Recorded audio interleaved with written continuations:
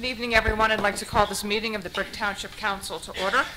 Adequate notice of this meeting was provided and published in the Asbury Park Press and the Ocean Star on February 8, 2019. Copies of the agenda were provided to the newspaper, posted on public bulletin boards and the township website. Thank you. At this time, please silence or turn off your cell phone. Madam uh, Clerk, roll call, please. Councilman Fozman. Here. Councilwoman Pontoriero. Here. Councilwoman deJong. Here. Councilman Mummolo. Here. Councilman Halloran. Here. Vice President Crate. Here. President Zapcic. Here. Thank you. Would everyone please rise for a salute to the flag and a moment of silence? Pledge allegiance to the flag of the United States of America and to the republic for which it stands, one nation, under God, indivisible, with liberty and justice for all.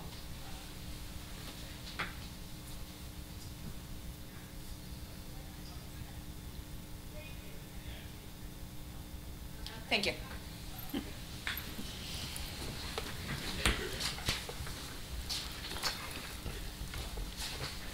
Uh, Approve the minutes of March 12th and the March 26th meeting. May I have a motion and a second? Make that motion? Second. Motion by Councilman Mummolo, seconded by Councilwoman deJong. Roll call, please. Councilman Fozman. Yes. Councilwoman Pontoriero. Abstain. Councilwoman deJong. Yes. Councilman Mummolo. Yes. Councilman Halloran. Yes. Vice President Cree. Yes. President Zapcic. Yes. Thank you. We have two presentations this evening. Um, I would like to invite Councilwoman deJong to the podium with Mayor Ducey and um, ask Virginia Rettig, who is the um, Wildlife Refuge Manager, to please come forward.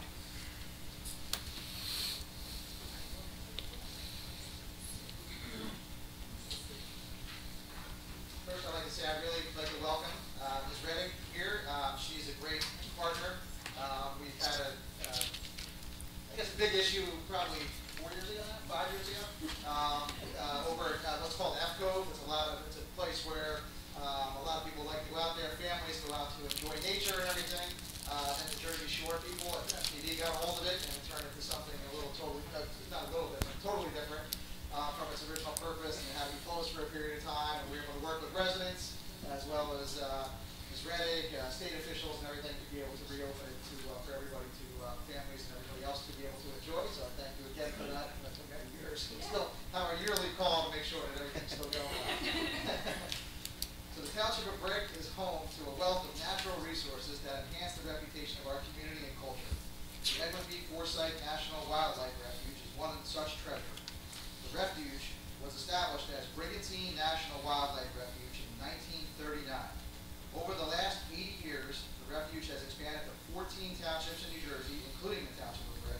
It encompasses nearly 48,000 acres and is home to salt marsh birds, piping plover, fox, deer, and much, much more. The DeCamp Wildlife Trail, located on Mount Road in Brick Township, is a popular gateway into the cherished wildlife refuge. The refuge's wildlife drive is visited by over 150,000 people each year who engage in world-class bird watching and wildlife photography. And the Visitor Information Center and newly constructed administration building provide opportunities for meet and create a sense of community and a special place. The 50-mile-long site boasts many trails and access to natural land to support the refuge's six priority public uses of wildlife observation and photography, hunting, fishing, interpretation, and environmental education. For all of these reasons, I, John Ducey, in uh, celebration of their 80th anniversary, I do hereby proclaim Saturday, May 4th, 2019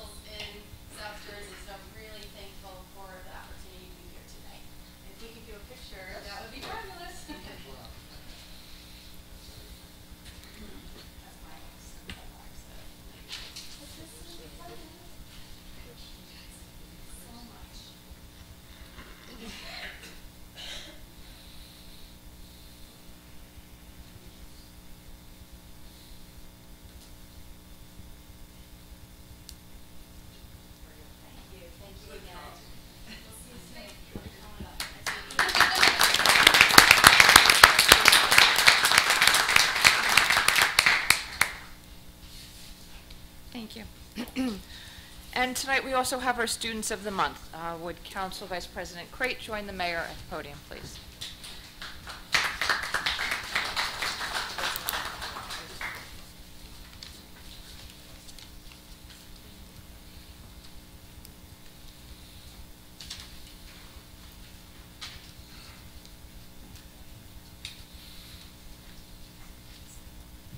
Good evening, everyone. Thanks for coming out.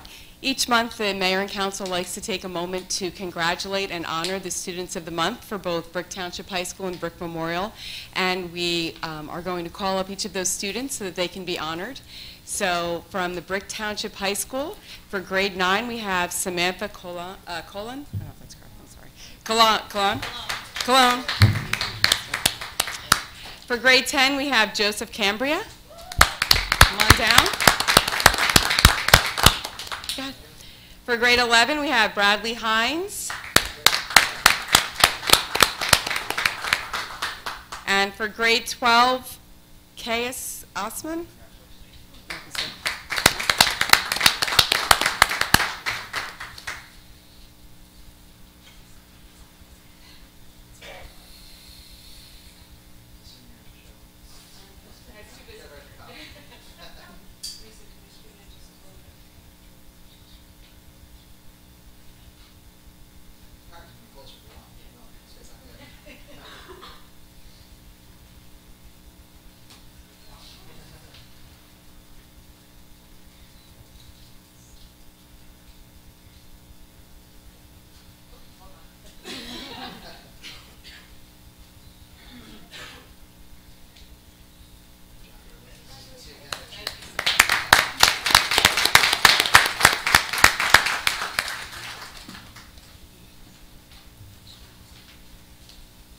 And for Brick Memorial High School, we have for grade 9, Gianna Battaglia and Emily LaFrance.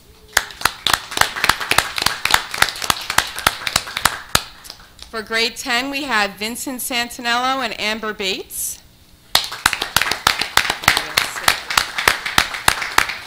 For grade 11, we have Evelyn Vass and Justin Czekowski.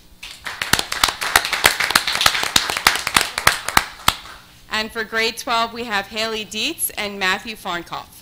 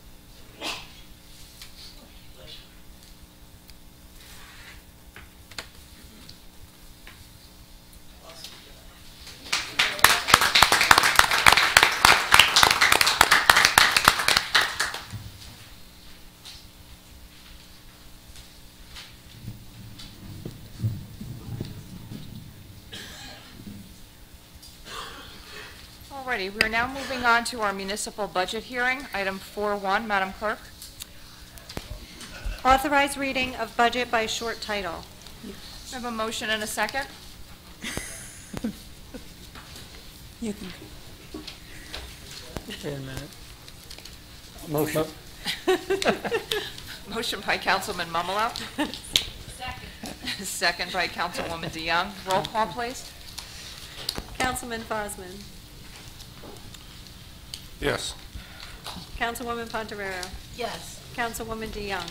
Yes. Councilman Mummolo. Yes. Councilman Halloran. Yes. Vice President Crate. Yes. President Zapcic. Yes. Thank you. I will now entertain a motion to suspend the regular order of business to accommodate the budget hearing. I'll make a motion to suspend the regular order of business for the budget hearing. Second the motion. Roll call, please. Councilman Fozman. Yes. Councilwoman Pontoriero. Yes. Councilwoman deJong. Yes. Councilman Mummolo. Yes. Councilman Halloran. Yes. Vice President Crate. Yes. President Zapcic. Yes. Thank you. Council President, this is the time fixed for the public hearing on the 2019 municipal budget. The budget was introduced by the governing body on March 26, 2019, and was advertised in the Asbury Park Press and the Ocean Star on March 29, 2019, together with a notice of hearing for April 30, 2019 at this time. Thank you.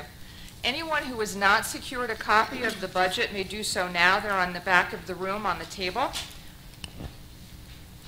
This year's budget totals $104,245,623, an increase of $1,166 one hu- $1,166,818 in the tax levy, which equals just under a penny on the tax rate.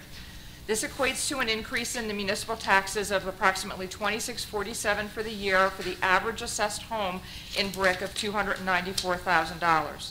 This year's budget uses $8,546,711 in surplus as revenue. It leaves a balance of over 9.8 million. Every year, we stress how important it is to have a healthy surplus balance. A healthy surplus balance shows the fiscal health of the community. It is not a savings account that should be dipped into to offset the amount raised by taxes. It is a part of the budget that requires replenishment, which is why fiscally sound municipalities like Brick Township apply no more than half toward the budget. The more we deplete, the more we need to raise in next year's budget. This year, we experienced an increase in the cost of gasoline, pension contributions, and in the salary and wage budget for dispatch, emergency medical services, and police. All of these services are 24/7 operations, and when we experience vacancies, we often need to fill the shifts on overtime, and that creates unanticipated increases. Before opening the public hearing, I wish to outline the procedure. Each person desiring to be heard will raise their hand, wait to be recognized, and come forward to the microphone, give his or her name and address for the record. I will recognize one speaker at a time. Please address all questions to the chair. Where necessary, they will be referred to individual members of the governing, governing body or municipal officers.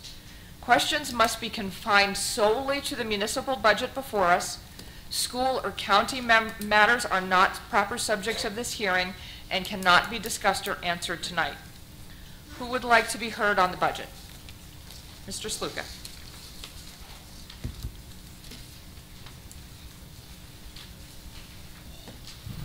Uh, Good evening, John Sluka, 950 Sylvia Court. Uh, I sent you guys a note, so you sort of have an idea what I'm going to talk about, all related to this budget. Uh, First of all, the main thing is, I understand from the last meeting, we're getting all this millions of dollars back, $5 million from the Foodtown site, the site down the block here, and all this stuff. We're also getting money back from that lady who uh, stole some money, and we'll get some of that back this year.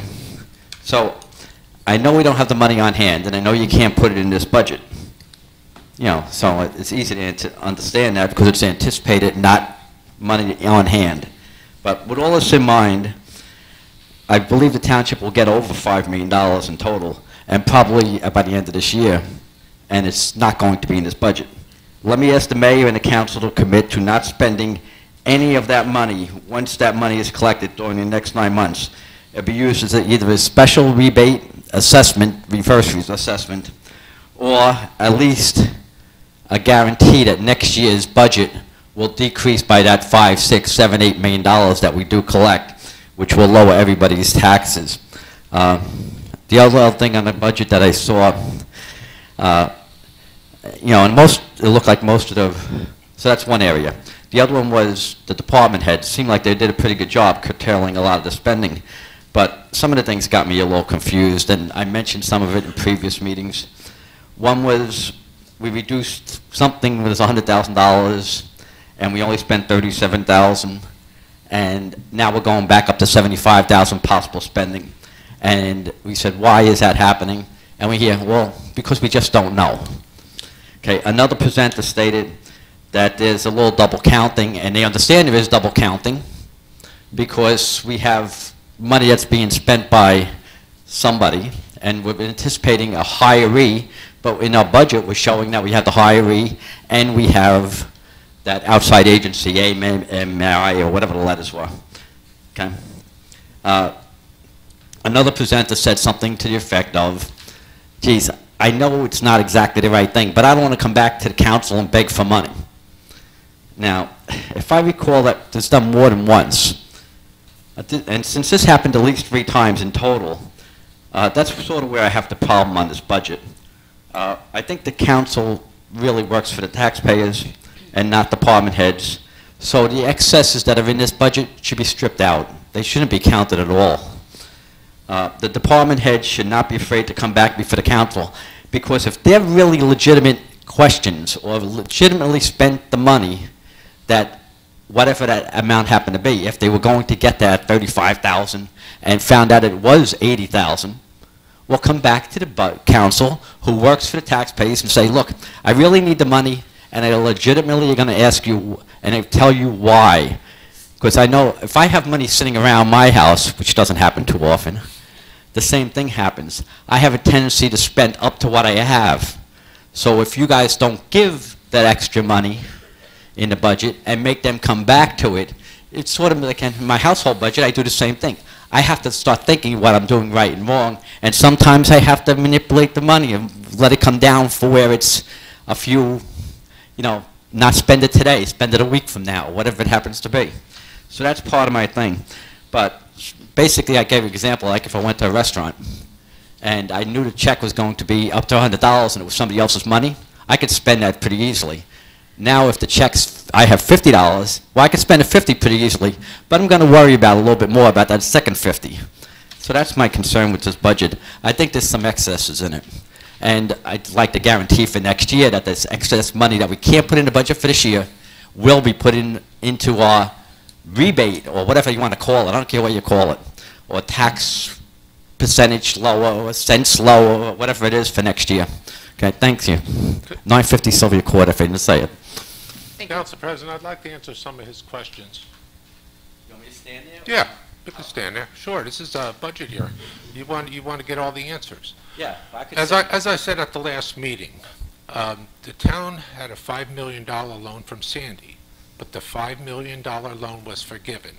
But $3.1 million and a little bit more, I'm going real close to it, was saved to pay that $5 million. 1.5 mil, so we got $3.1 million. 1.5 million did go into the budget. The rest, the mayor used to pay down the debt. So he used 1.6. We need 1.1. We could have put almost 500,000 to pay down the debt and put 1.1 towards the taxes, and we wouldn't have to pay, we'd be at zero. But everybody has a different way of doing things. When the mayor ran the last time for election, he lowered it by half a percent, but then it went up to 1.9 the year after. So when you take away, you got to make it back up. Here we got free money. We got a loan that was forgiven. And not only that, like you said, the Foodtown site, it may not come in effect this year when the place is sold, but next year it will. So you are correct. So we could have had a zero rate increase this year. The only people that can change it right now is this council. That's it. The mayor can't. He doesn't vote on it. He only Um, presents his. that's- And I totally agree with you. If Yeah. we had that money and staying paying down 1.1 extra on the debt, which is going to be pennies, that we could do this today at zero. Yeah, and I understand that. I mean, to me, it's, you know, you gi- Taxpayers you- need a you break give it every from one once in a place, you while. take it from another and stuff like that. You're It's not. You just- had extra money. It wasn't, this is extra But money. uh, to me, I just find there's stuff in this budget that you could get it down to zero, even you- without doing that. With doing that, you could actually give more money back. Uh, I just think this budget's a little overblown. And especially that we know that stuff's coming back. I know the lawyer said last time that, you know, we don't want to use the money, or we can't use it because we don't have it on hand. Once we have it on hand, I don't want it spent. I want it to give back to the, like I said, tax rebate. I mean, it's easy to get an assessment. Would you take it a zero rate increase this year? I'll take the zero There you increase. go. I'll take a And zero increase for the next done. five years. You know, It can I don't care when it's done. zero. Lower the better. Okay, thank you. Ms. Call.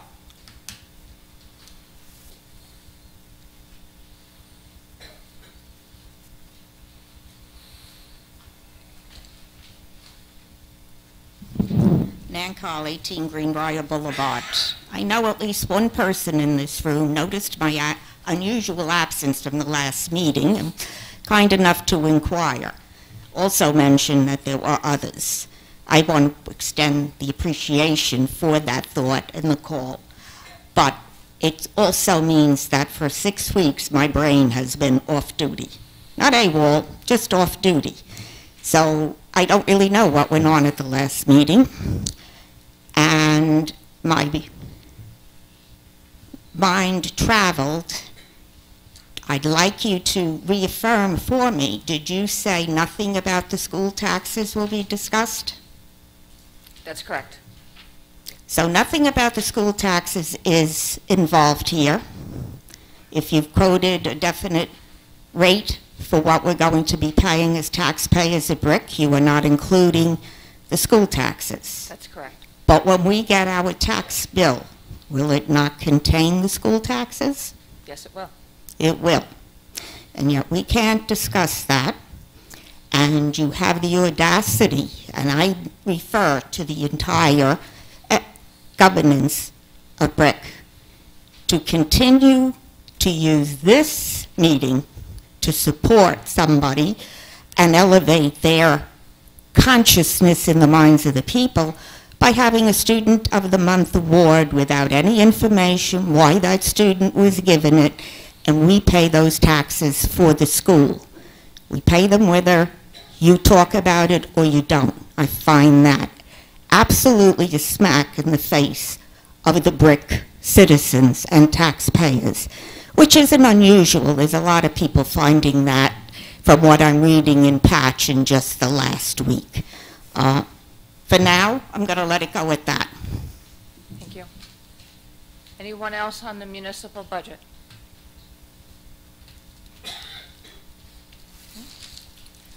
Seeing none, I will close the public hearing. Uh, Madam Clerk, roll call, please. Can we get a motion and a Oh, second? I'm sorry, motion That's and a, okay. s- uh, motion and a second to close the public hearing. Motion to close the hearing.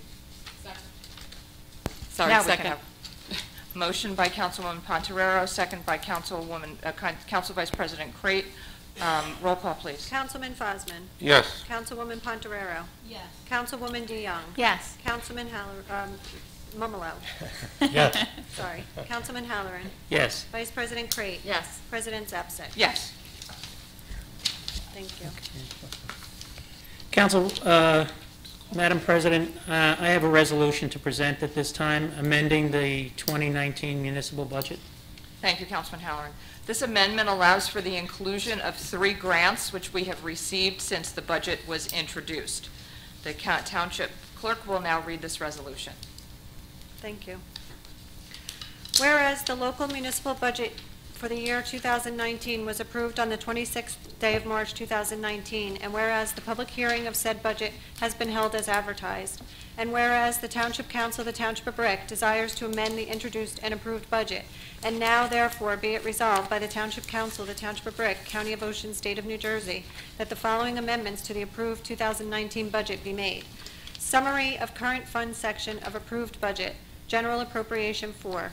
Appropriations excluded from caps, A municipal purposes, items H2, sheet 28, NJS 40A colon 4-453 as amended, from $18,939,033.46 to $19,352,288.46.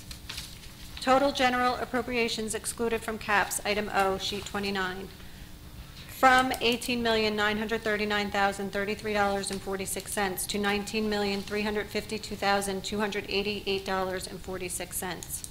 Total general, general appropriations, item 9, sheet 29, from $103,832,368.41 to $104,245,623.41. Five, less anticipated revenues other than current property tax, item five, sheet 11, surplus miscellaneous revenues and receipts from delinquent taxes, from $30,050,199.95 to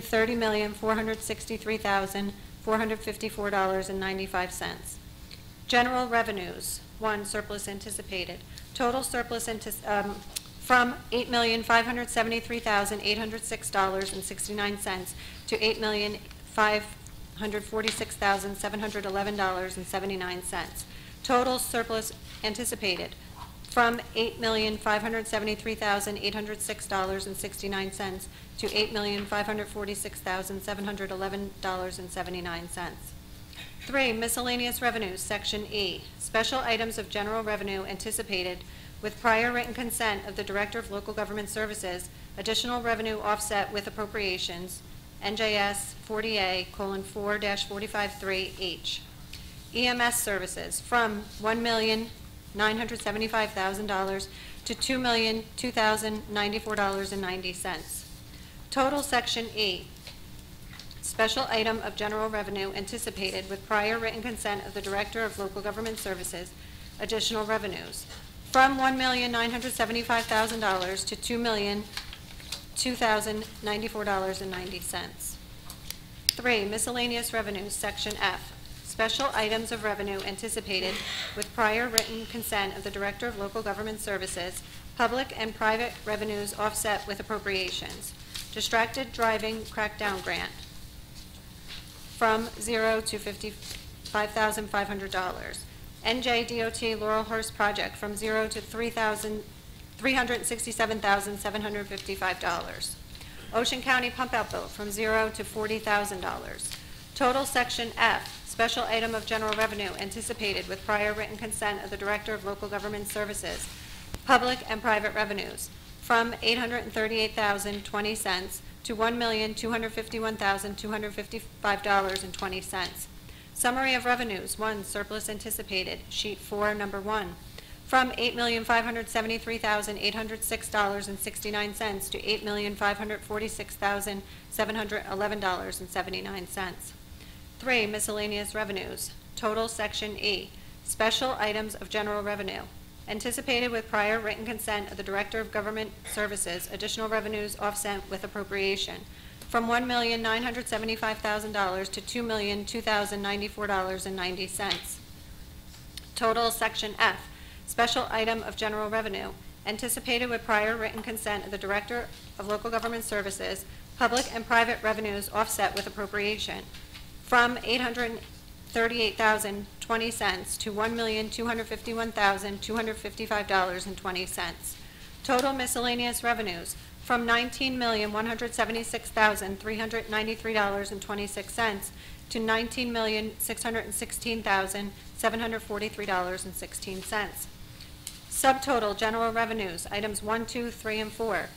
from $30,050,199.95 to $30,463,454.95.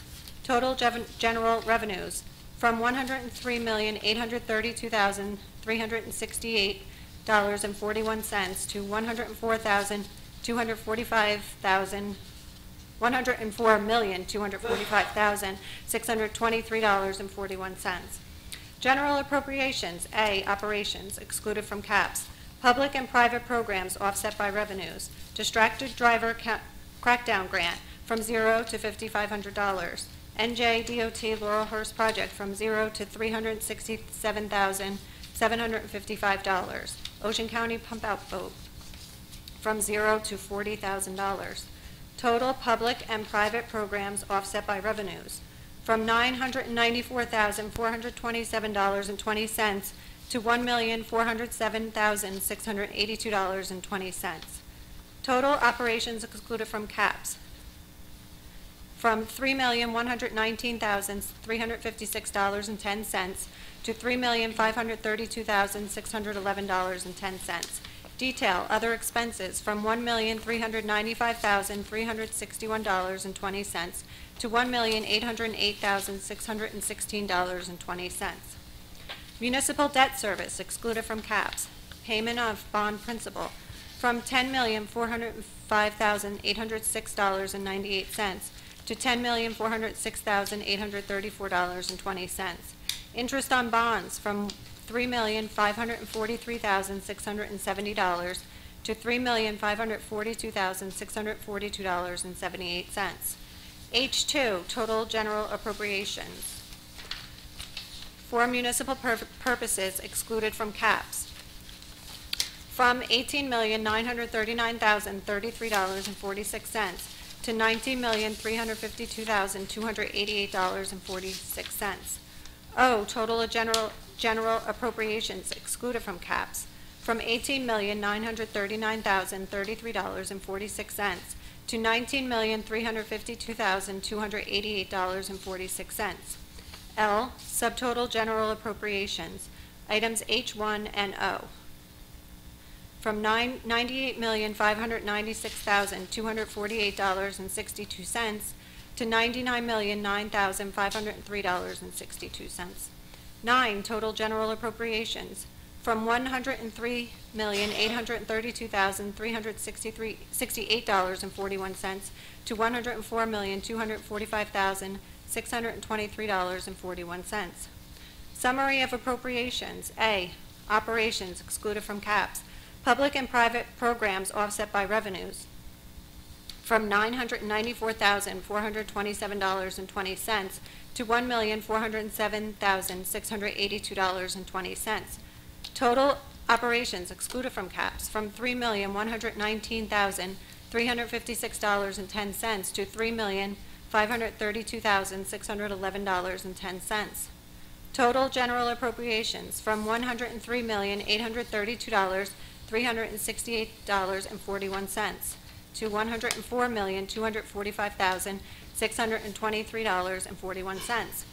Municipal Open Space Trust Fund, dedicated revenues from trust fund, amount to be raised by taxation from $1,034,813.02 to $1,033,785.80. Total trust revenue from $1,034,813.02 to $1,033,785.80. Debt services, payment of bond principal from $699,193.02 to $698,165.80. Total trust fund appropriations from $1,034,813.02 to $1,033,785.80. Be it further resolved that two certified copies of this resolution will be filed with the Office of the Director of Local Government Services for certification for the 2019 budget so amended. Be it further resolved that a copy of the resolution will be forwarded to the Business Administrator, Chief Finance Officer, and Purchasing Agent.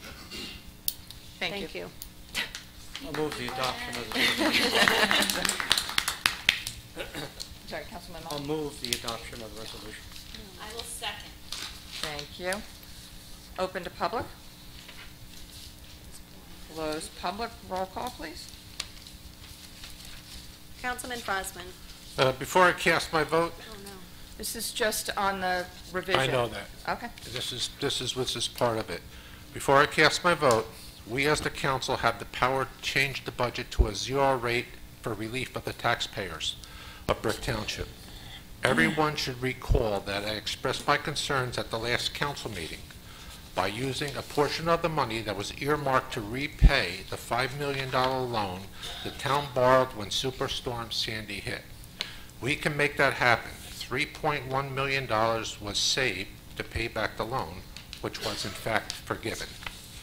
Rather than using the money saved to pay down the debt, as the mayor has done, I implore my council colleagues to take the portion needed to obtain a zero rate increase for this year.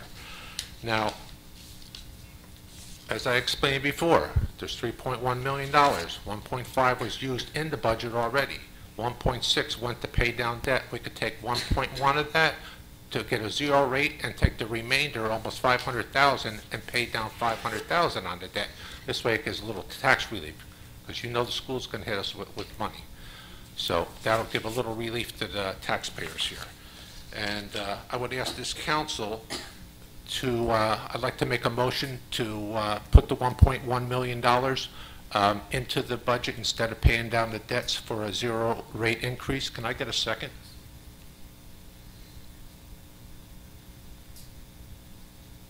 Council President, can you ask for a second?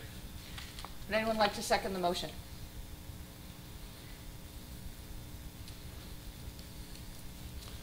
Okay, thank you. I'll get, my vote is no.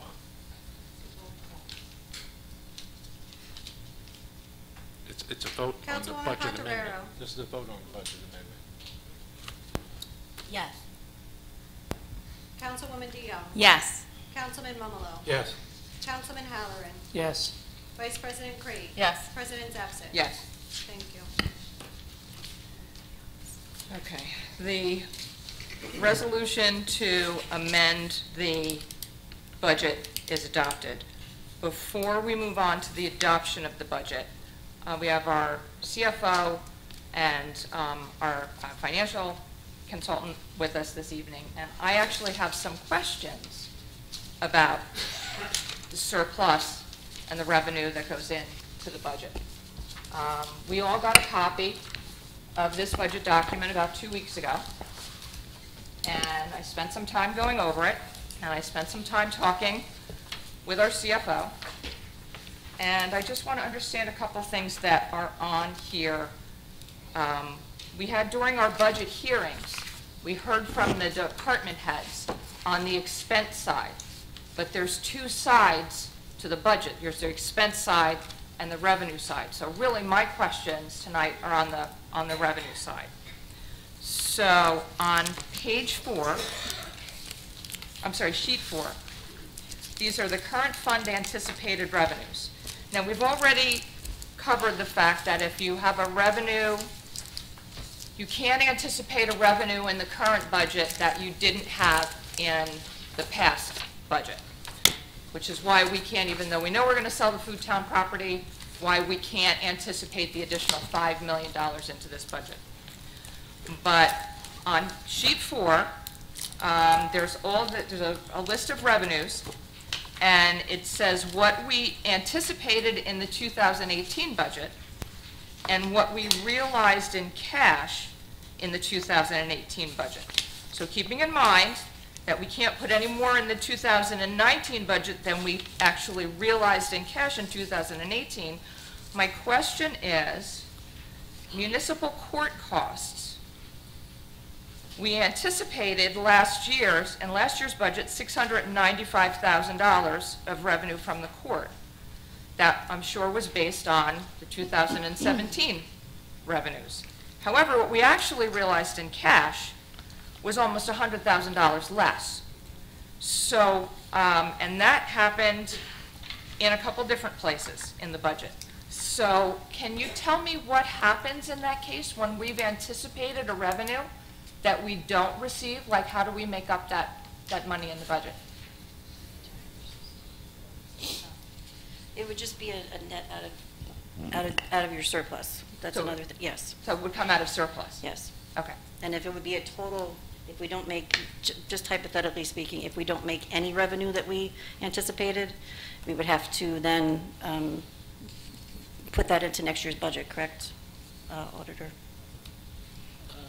Well, you'd end up with, uh, we would end up with, uh, so- well, that's about $2 million, I believe, in miscellaneous revenues. You- You'd end up with just $2 million less than surplus. Okay. So, thank you for that. Okay. So then the other question that I had relative to the budget and the surplus is, um, you were kind enough to provide me with a debt history um, and a surplus history going back to the um, early 90s. And on this document, on the surplus history, we can see each year what we started at the beginning of the year with, how much was utilized in the budget, and then what was left. So I noticed that starting in about 2000, well, 2013, um, and um, there were years when we used more surplus and there were years when we didn't, okay? But in 2000, I'm sorry, 2003, our bond rating was at the highest. Correct. That, so the bond rating actually, when we have to borrow money for heavy equipment and construction costs and that kind of thing, that's the, that pretty much dictates the interest that we're going to pay on those bonds, okay? So um, then, we started using almost all of our surplus in, um, into the municipal budget. In 2004, we had 11 million in surplus. We started the year, we used 10 million of it in surplus, 10 Yes. million of it into the budget and left a balance of 1 million. Yes. Um, Now, surplus does replenish, but the more you use, the less you start out the next year with. Am I correct on that? Okay. So the following year, in 2005, we only started the year with 9 million, Yes. And we used almost 9 million. We left less than a million, $696,000. Now, the following year, we were lucky, we, we started the year with 10 million. Again, we used almost, uh, over 9 million, left a million in. Following year, we had a good year, so we must have sold property or something in '07, because we had 17 million in, in surplus. We used 14 million, um, that left 3 million. The next year, we only, re- we only had 12 million in surplus. So just because we started the year before with 17 million doesn't mean we were going to put back 17 million. No. Although those things all fluctuate. Correct. So we used almost all of it. We left $61,000 in surplus that You year. almost used 100%. You used 99, 99.49% uh, of your surplus. I'm sorry. You used 99.49% of your surplus. Yes. Almost Yes. 100%, yes. And that year, our bond rating dropped. Correct. which meant that when we borrowed money for capital projects, we paid a much higher interest rate, okay? The following year, after we all- virtually wiped the surplus out, we were only back at 6 million, which was half of what we had the year before. And again, we you used used- almost all of it. The following year, we were back to 8 million at the start of the year. We used almost all of it. We left less than $50,000 in surplus. In two- 2011, it was only 6 million at the start of the year. Correct. We used 4 million of it, we left 2,000, uh, 2 million. The following year, we started with 8 million, we used 5 million and left 3 million, and that was the year that Sandy hit. So we really had very little in reserves when Sandy hit. So my point is, I'm not going to go through year by year, but since 2013, the surplus has been increasing to a healthy amount. We started in 2013 with 13 million, we used half. Following year, 14 million, we used half. The following year, 16 million, we used half. The following year, 19 million, we used half. 2017, 21 million, we used half. 2018, 21 million, we used half. But 2019, we're only starting this year with $18 million. So Correct. we didn't replace No, we did not. all of what we used last year. Um, Our bond rating did come back up somewhat. No, no, am I right? Yes, it came up in 2011. In 2011, it came Yes. back up. So we're in fairly good fiscal health, but uh, my point is that all of these things work together. Surplus is not something that just automatically replenishes correct. itself. You have a situation where you anticipate revenues that don't happen, and that money has to come from somewhere. The other thing is on the debt history, um, the, in those years where we were wiping out surplus, we doubled our debt. So in any given year, would it be fair to say that we usually um, retire about a million to a million and a half in debt on, on, on average? Yes. Typically? Yes. Okay.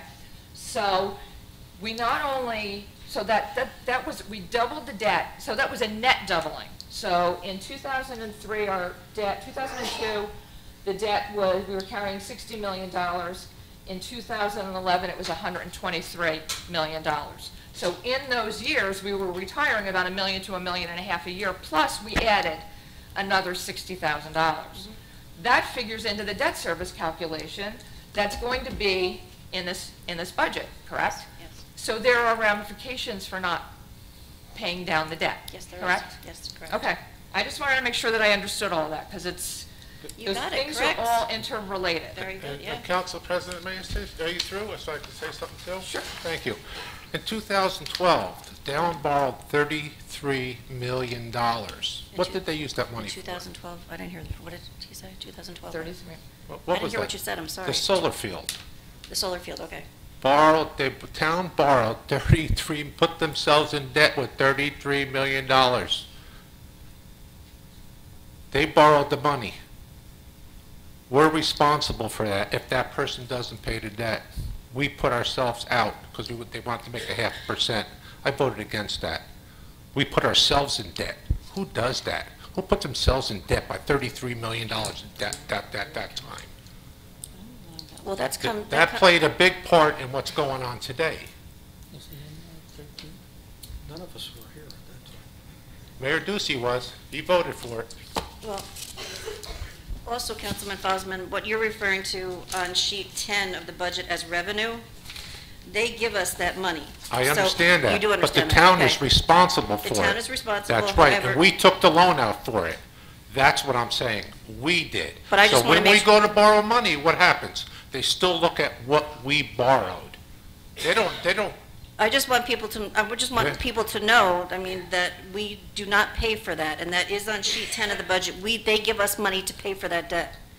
but, That- we- but we're still responsible for that money, and that does affect our debt rating.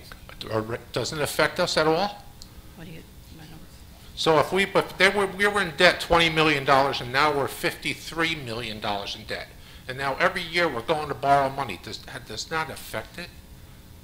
Just because you're paying down that debt, doesn't that, that debt incurred? Well, the more debt you have, it would negatively affect you, yes. Yes. That's what I'm saying. So we- what you're saying is incorrect then, because that much money was borrowed, plus what was already owed before the 33 was borrowed. Nobody is disputing the Nobody's amount of money that disputing was borrowed. We're talking about the fact that while that borrowing was going on, the surplus was being dele- depleted to And almost you weren't nothing, here when and that we were vote paying a came. higher The mayor rate. was and you- voted for $33 million, so the town What you would said was be in correct, effect. Council President, yes. Okay, I'm sorry? What you said was correct, Council President, yes. Thank you. Anyone else from council? I have a quick question for Mo. Yes, Councilwoman Di- Mo, if you- we had, if we took all of that Sandy money, which thank you so much for getting the debt and everything forgiven, it was a huge effort on your part, and we thank you so much for that. But if we took that money, would it be fiscally responsible for us and for years to come, looking ahead at our budgets and what our town will be needing, would it be fiscally prudent for us to do what Councilman Fozman said? When you say fiscally responsible, I mean, I was u, the capital surplus, it's not $5 million. The $5 million was the CDL. Yeah. So it's not like we had $5 million. Yes. And no, I mean, I, I even discussed this with Chuck. Um, You would, half of it was used, and to go into your surplus, like, to just use it willy-nilly is, no, not fiscally responsible at all for the township to do that. Can I ask you a question? Did you earmark $3.1 million for this? Did you have point- aside to pay this loan before you know it was forgiven? Did you have money set aside? No, I did not. You didn't? No. So- So you weren't planning, you, if you didn't get the, you're telling me that you didn't plan ahead to pay the $5 million down if we didn't get this forgiven? How are you going to pay them back? First of Borrow all, another Councilman five to pay that five? I did not go out to get this CDL. Let's point, you know, make that, put that out there. Then why the mayor And- there's $3.1 million there? Um, And 1.5 was fixed. And, and by the way, I called Chuck Fallon up. I asked Chuck to call you because of, because of what was going on. Chuck got the money for Belmar in another town. I called up Mr. Fallon. I made him, I asked him to call you to help us because we already failed the application for the $5 million the first time. And I was told you only get two chances. We got something from FEMA saying that it was incorrectly done. Exactly, that's what Chuck did two of them for other No, towns, I Councilman know. Fozman, no, no. Yes, yes. No. Let Oh, her speak. A lot has been, had been done prior to, and Chuck did do a wonderful I job. know he He did. helped a lot, but a lot was done prior to Chuck helping. And we, like I was trying to say to you, we got something from FEMA saying that they would- looked at our records incorrectly, not just ours, other townships. So what they did was, they reanalyzed it by what was priorly given to them. I know the application is very difficult to fill out. I spoke to Chuck about it. He told me it was very, very difficult to fill out. And he did two other towns. That's when I read that article that he did two other towns, I immediately called him up. I used, Chuck was on the Water Authority with me. And he does a great job over there. And uh, that's what occurred. And um, debt is debt. 33 million on top of what you had already, it's debt. Still got to pay it. If they welch, the other company's supposed to pay, but anything could happen.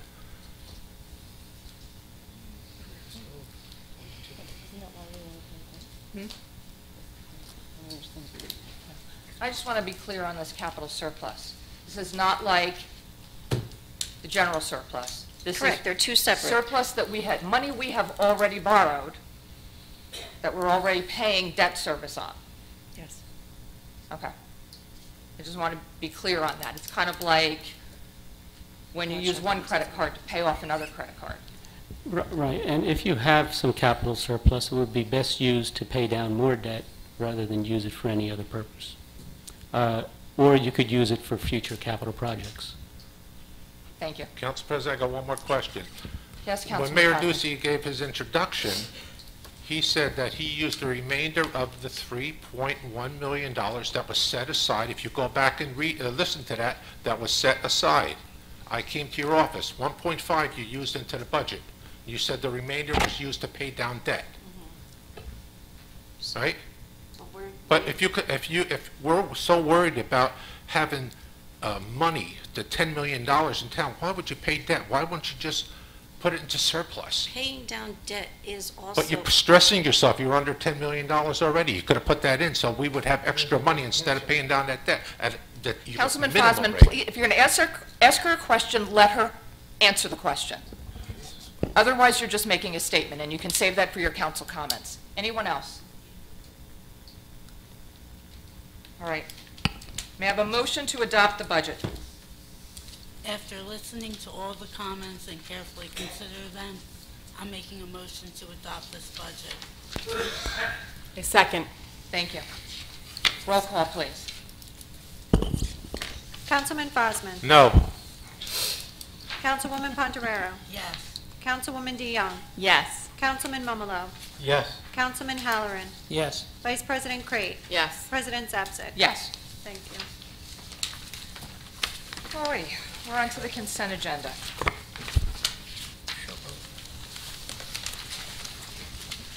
All matters listed under item consent agenda will be enacted by one motion in the form listed below. If discussion is desired on any item, this item will be removed from the consent agenda and will be considered separately. Thank you. Resolution 5-1. Recognize 80th anniversary of Edwin B. Forsythe National Wildlife Refuge. Councilwoman Dion. Yes, thank you. This resolution recognizes the 80th anniversary of the Edwin B. Forsythe National Wildlife Refuge. Thank you. Item 5-2. Authorize receipt of bids Greenbrier 1 roadway improvements Markham and Whitman Streets. Thank you. Mayor Ducey.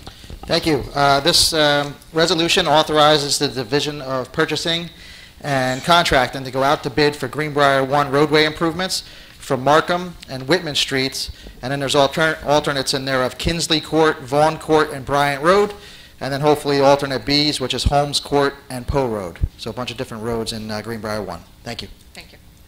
Item 5-3. Authorize receipt of bids Whitman Street Phase 2 culvert and embankment repairs. Thank you. Mayor Ducey.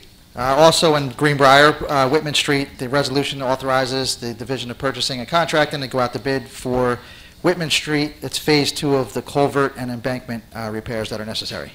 Thanks. Thank you. Item 4-4, uh, I'm sorry, 5-4. Authorize award of bid purchase and delivery of 150-foot steel monopole for police operations at 301 Brick Boulevard. Thank you. Councilwoman Pontoriero. Thank you, Madam President. This resolution authorizes award of bid for the purchase and delivery of 150-foot monopole to Sabre Industries in Sioux City, Iowa, for a total bid amount of $41,070. Bid notices were mailed to four prospective bidders, and two picked up bid packages. One bid was received. The contract includes design, manufacture, and delivery of all parts and mounts related to the 150-foot communications tower delivered to the Drum Point Sports Complex, as well as concrete foundation design for said tower. The township will identify a state contract vendor to build up the foundation once the design is complete. Soil testing was needed to confirm the foundation and the amounts. The project is funded through the 2017 capital budget. Thank you. Item 5-5. Authorize award of bid manufacturing and printing of tax bills. Thank you. This resolution authorizes the award of bid for the manufacture and printing of tax bills to Vital Communications in Trenton. This is a two-year contract not to exceed $24,500 per year. Bid notices were mailed to 25 prospective bidders and six picked up packages. One bid was received. Vital Communications has prepared and printed tax bills for the 2016, 17, and 18 tax year. Item 5-6. Authorize award of bid and authorize rebid Summerfest food truck vendors. Thank you. Councilman Halloran, please. Thank you, Council President. This resolution awards a bid for Summerfest food truck vendors in six categories. Delano Food Service, Long Valley, with a bid amount of $750 for a pizza. Tony's Italian Sausage in Hazlet, with a bid amount of $1,802 for hot food, including sausage and cheesesteak. John and Debbie O's, Toms River, with a bid amount of $1,618 for grilled fried items. You Scream Ice Cream in Brick, with a bid amount of $1,750 for ice cream. Shore Fresh Catering in Manchester, with a bid amount of 1,300 for miscellaneous snacks. John and Debbie O's in Toms River, with a bid amount of $1,223 for miscellaneous snacks. A notice to bidders was placed in the Asbury Park Press on the township webs- website. In addition, 93 bidders were notified from our bidders list, of which 14 potential bidders requested bid packages. Eight bids were received. The township established a minimum bid of $750 per category.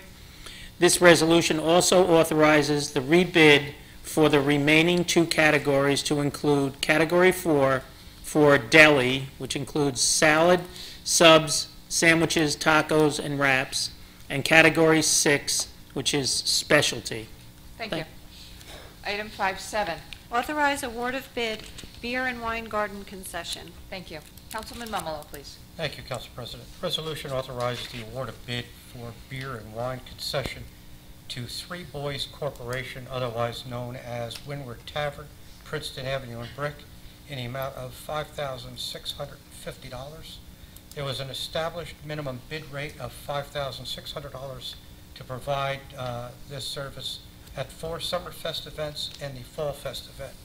The notice to bidders was mailed to 25 potential bidders. Three bidders requested a bid package, and would- one bid was received. Thank you. Thank you. Item 5.8. Authorize award of bid mobile ice cream truck. Council Vice President Creighton. Yes, this resolution authorizes the award of bid for an ice cream truck vendor to Cool Concessions Brick in the amount of $1,255. The township established a minimum bid of $500 for exclusive rights to both locations, including Windward Beach and Traders Cove, or $250 for either location. In this contract, the vendor agrees to visit each park daily from Memorial Day to Labor Day. The notice to bidders was placed in the Asbury Park Press and on the township website. In addition, 93 bidders were notified from our bidders list, of which four potential bidders requested bid packages. Thank you. Item 5.9.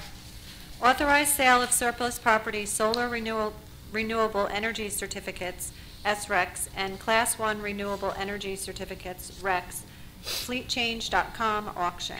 Thank you. Councilwoman deJong. Thank you. This resolution authorizes the sale of the township's solar renewable energy credits and Class 1 renewable energy certificates through a public auction. The Township of Brick intends to utilize the online auction services of Flett Exchange LLC. At this time, there are 115 solar renewable energy certificates from the township's rooftop and parking lot solar panels to auction on the Flett Exchange website. In addition, there is eight Class 1 renewable energy certificates from the wind turbine located at Drum Point Sports Complex. In February of 2018, the township utilized Flett Exchange LLC for the sale of the solar renewable energy certificates through public auction and received $35,872.50. And I would just like to thank Mr. Chekai, who is here tonight, who always keeps on top and makes sure that we are doing our due diligence in getting our SRECs. So thank you, Bob. Thank you. Item 5.10. Authorized sale of surplus property, Public Works Vehicles Auction 2019-2. Thank you. Council Vice President Crate. Thank you. This resolution authorizes the sale of surplus property for a variety of public works vehicles no longer needed for public use. For this auction, we will utilize the services of U.S. Gov Bid.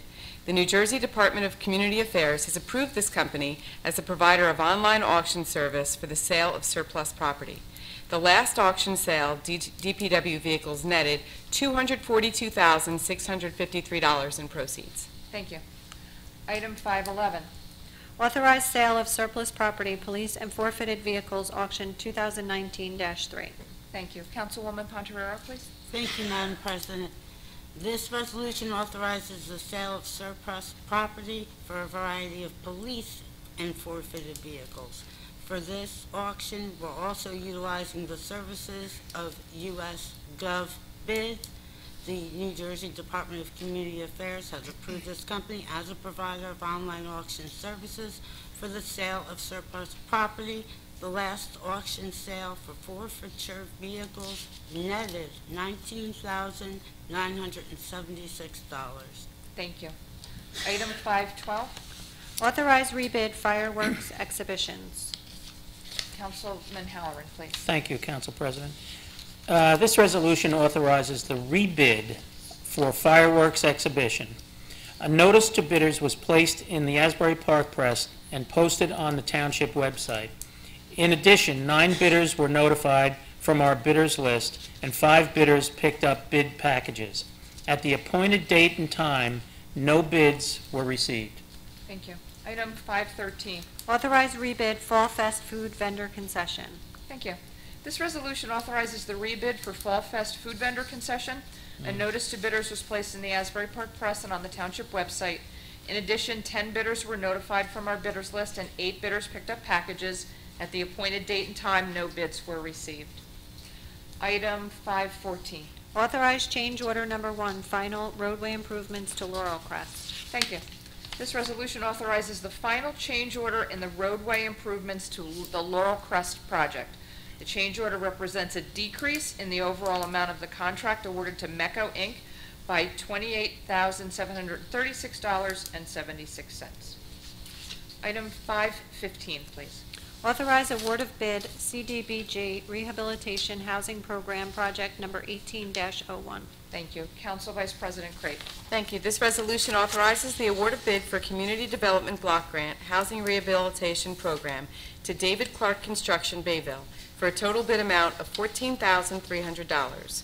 Bid notices were sent to 40 prospective bidders from our bidders list, of which seven bidders picked up bid packages. Two bids were received, with David Clark Construction being the lowest responsive, responsible bidder. Thank you. Item fif- uh, 516, please. Authorize award of bid CDBG Rehabilitation Housing Program Project 18-07. Thank you. Council, uh, Councilwoman deJong. Thank you. This resolution authorizes the award of bid for Community Development Block Grant Housing Rehabilitation Program to David Clark Construction of Bayville for a total amount of $16,100. Bid notices were sent to 40 prospective bidders from our bidders list, of which seven bidders picked up bid packages. Three bids were received, with David Clark Construction being the lowest responsible, responsive, responsible bidder. Thank you. Tongue twister. Item 517. Authorize award of bid CDBG Rehabilitation Housing Program Project 18-10. Thank you. Councilman Halloran, please. Thank you, Council President. This resolution authorizes the award of bid for Community Development Block Grant Housing Rehabilitation Program to Premier Property Management Services, Beechwood, for a total bid amount of $22,010. Bid notices were sent to 40 prospective bidders from our bidders list, of which seven bidders picked up bid packages. Two bids were received, with Premier Property Management Services being the lowest responsive, responsible bidder. Thank you. Item 518. Authorize placement of tax liens for property cleanups. Thank you. This resolution authorizes the placement of a tax lien for property cleanup at 1666 Route 88, Block 1170.01, Lot 2, in the amount of 1,206 $1,263.97. Item 519, please. Authorize special events permit, Pet Adoption Day. Thank you. Council Vice President Crate. Yes, this resolution authorizes a special event permit for a Pet Adoption Day event on Saturday, May 18th, between the hours of 10 a.m. and 3 p.m. at St. Raphael's Church on Route 88 West. A rain date has been set for June 1st. Thank you. Item 520. Authorize special events permit fishing tournament. Councilman Mummolo, please. Thank you. The resolution authorizes a special events permit for a fishing tournament event on Friday, June 14th, between the hours of 5:30 PM and 9 PM at Wehrlen Brothers Marina on Princeton Avenue. Thank you. Item 521. Performance bond release for B-Tech LLC on Route 70 and Forge Pond Road in the amount of $39,731.11. Thank you. Item 22, tax collector, Mrs. Bergen. Thank you. 22A are tax overpayments for 2019, Block 134, Lot 15, in the amount of $106.24. 22B is a redemption of a tax sale for- certificate at Block 340, Lot 52.03. Thank you. That ends the consent agenda. I will open to council. I have some questions. Councilman Fozman? Yes, uh, the sale of the renewable energy certificates, um, when we receive the money, where's the money go? Goes into our uh, budget for utility bills. This year? Yeah. Into 2019. And same with the surplus from Public Works vehicles, because they said over $200,000 was made last year, and that goes in there also? Uh, And the police And the police forfeiture force goes... goes in there also? separate- The police forfeiture goes into a separate forfeiture account that's uh, mandated to be used only for specific purposes and needs approval from the Ocean County prosecutor to use. Okay, thank you. Anyone else from council? Oh, sorry, I got one more. Yes, I got sir. one more here. Um, um, When we bid out the Summerfest food truck vendors, um, how come we're not including the Fall Fest food vendor? Um, Why can't we combine them two to do one bid, maybe everybody be interested in it? Um, Well, we, we do them differently. Um, We tried doing Fall Fest the way that we do Summerfest when we first started doing Fall Fest, which was individual trucks and the township coordinating, and it just, it just didn't stick. It wasn't until we got a particular vendor who would do all of the due diligence with assuring a certain number of, of trucks. When we did it piecemeal, we would get one, two, three, but we really, that's a food truck event. So we wanted to have a minimum number of, of trucks, really, the, the food trucks are the focus of that event, where Summerfest are an enhancement to a different event. Um, and we found that one vendor who had the relationships with the, the various trucks was a better way to go for Fall Fest. Because I, because I just read, read about Toms River, they're having a boat, boat thing down there, and they got like 60 vendors down there. You know, I don't know if they're all food vendors, but they got 60 vendors, that's quite a bit for a thing. I, I just thought it'd be easier to get more people. Thank you very much. Anyone else? Seeing none, may I have a motion and a second? Motion. Second. Motion by Council Vice President Crate, seconded by Councilwoman deJong. Open to public for questions on the resolutions. Mr. Sluka?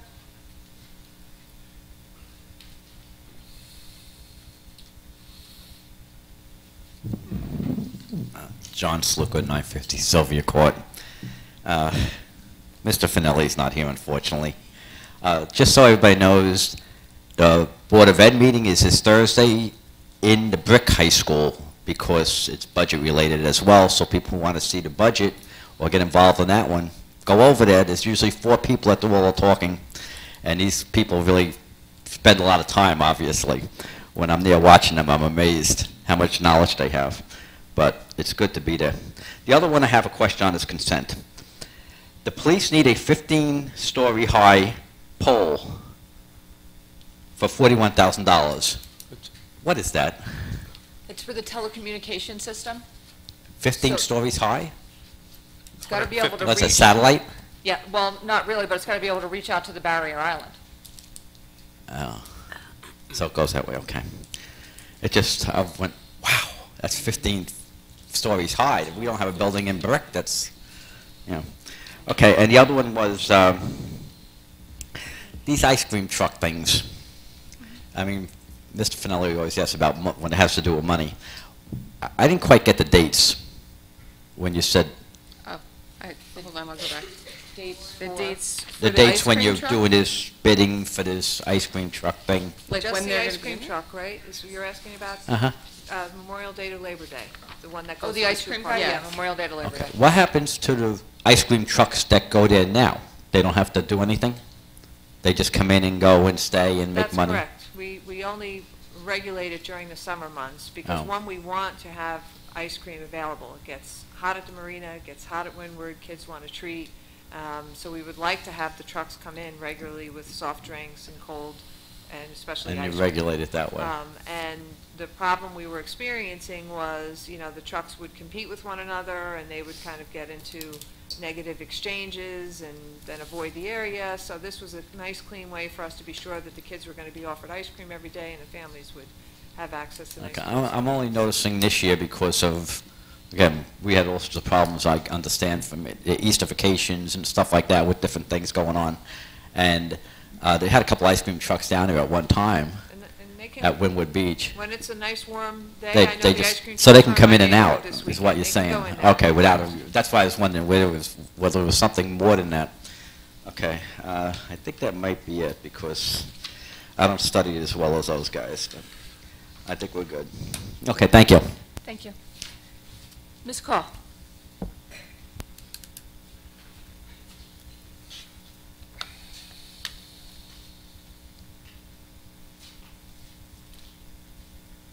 Dan Call, 18 Greenbrier Boulevard. Uh, The first thing I want to mention is a point of order. No discussion to- should take place at all until you have a motion and a second.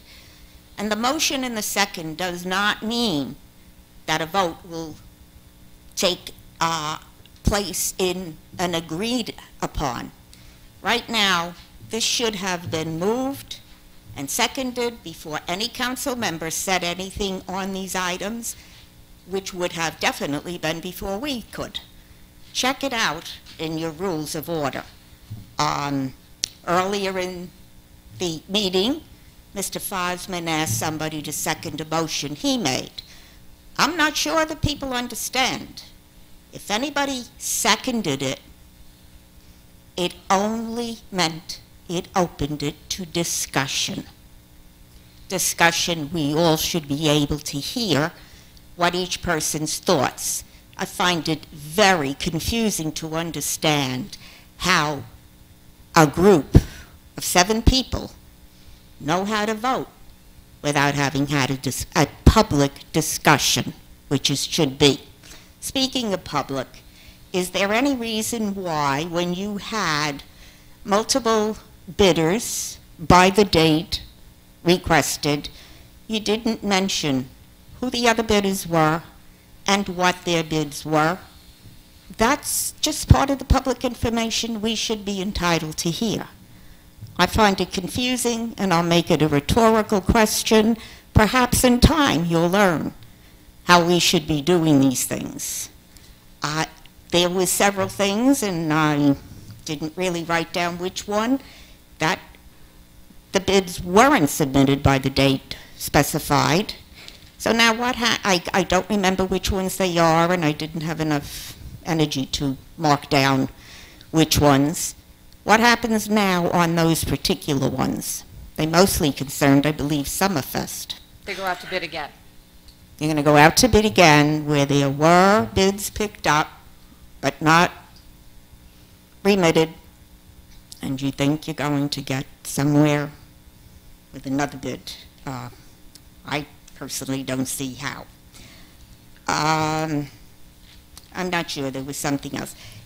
The, uh, the 150-foot, it does say steel monopole for police operations, and I make it a practice to never assume, occasionally presume, that that sounds like to me, who worked in the field of data communications and other telecommunications, that that is a pole that acts as an antenna for just police communications. Is that correct, as opposed to the uh, antennas that serve multi-purposes? Correct.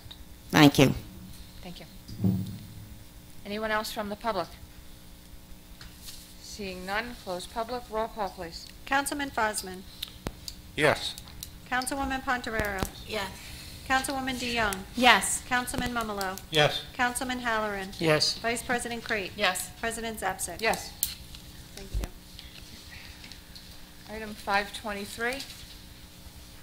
Be it resolved by the Township Council of the Township of Brick that the following bills be paid and that the mayor and clerk be and are hereby authorized to draw orders on the treasurer for the amounts of the same.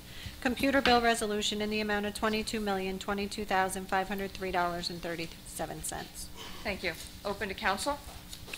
Yes, I have a few questions. Councilman um, Fozman. On page seven, um, it says Brick Board of Education. Uh, um, it's for ten thousand dollars. It's on four five nineteen, but it says 2018 Summerfest transportation. Uh, are we paying last year's bills on 2019's money, or they just sent us those bills on four five nineteen? As it says. So we're using 19's money to pay 18's bills? It comes from the recreation rider where the money was still in from last year. Uh, The 2019 budget also includes deferred charges, which are prior year bills, because we do also get a lot of Municipal Services Act um, invoices in late from communities. So our, our budget typically includes deferred charges, which are prior year bills. Thank you. Um, Page eight and nine, I guess it continues over to nine. Um, Brightview Engineering a traffic study on Route 88 and uh, Jack Martin Boulevard. We're paying for that? I thought that was 88's a state highway and Jack Martin's a county road? This traffic study? Yeah, there's a telephone pole that's uh, on Route 88 that if people are making a left coming from here, let's say, let people are making a left onto Jack Martin, um, you can't pass on the right because there's a telephone pole that's in the way, so our residents have asked for that telephone pole to be moved back so that um, we're able to, they're able to pass people. You see a bunch of chunks taken out of the telephone pole for people who've hit it in the past. I know they're very expensive, they're like fifty thousand dollars just to move a pole. And, uh, couldn't the state or the county take, it's just, it's a state highway, couldn't this- they chip in and help us, or Well, anybody we- look into that, or? We did. We did. tried, they said no. Uh, Yeah, that when they told us the first step for us would be to provide them with data, that would be more compelling than us saying, hey, our residents are asking for this, and if we provided a traffic study that gave them the data that would further justify the request, that they would reconsider their participation, so that's why we're going through the study. Thank you. You're welcome. Um, Page, page nine, another one. um, um, Michael Capco, he works at BMAC, he works at uh, RW RWJ Barnabas, and I know Andrea, you work there. Does Andrea have to abstain on that bill because he, she works with that person?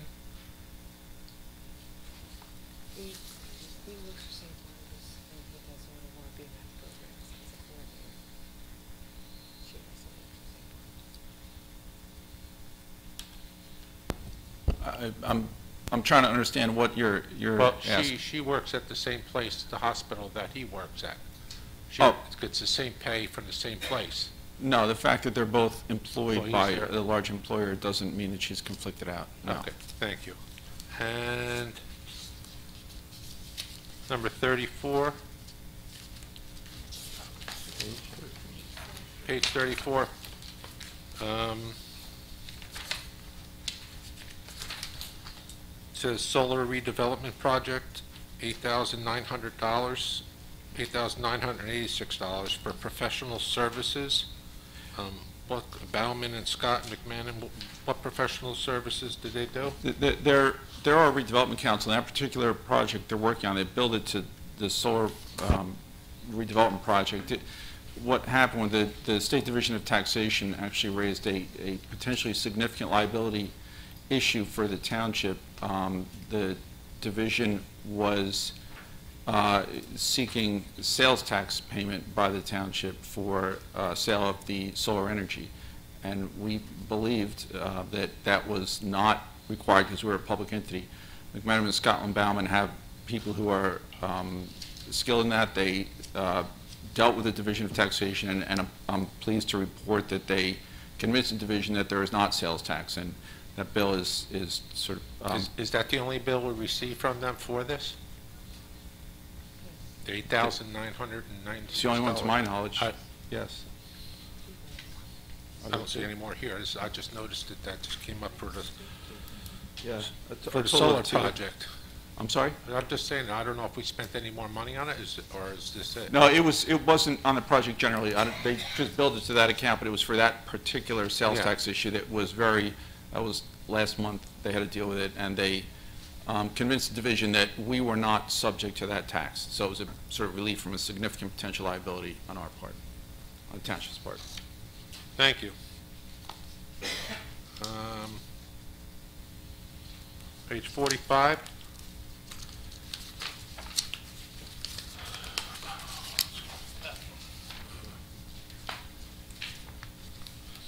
Uh, Preferred Behavioral Health Thrive Program. Um, I don't know what the Thrive Program is. I can answer that question. That's one of our BMAC programs. That's the mentoring program we run at the Maple Leaf Complex. Okay. Thank you. That's from the Municipal Alliance grant also, so that's grant funded, not taxpayer funded. Okay, I didn't know what the Thrive program was. Um, Page 51. Um, It's, uh, it's electric, it says solar production, $69,013. Um, Is that, is that what we pay them for our electric, for the solar field? That is? Okay. Is that average? I didn't, I didn't see last month's. I can look, I got the paper. Yeah, if you have the paperwork. Yeah. So- we're paying probably about nine hundred thousand dollars to the solar field for electric. That's- Okay. Um,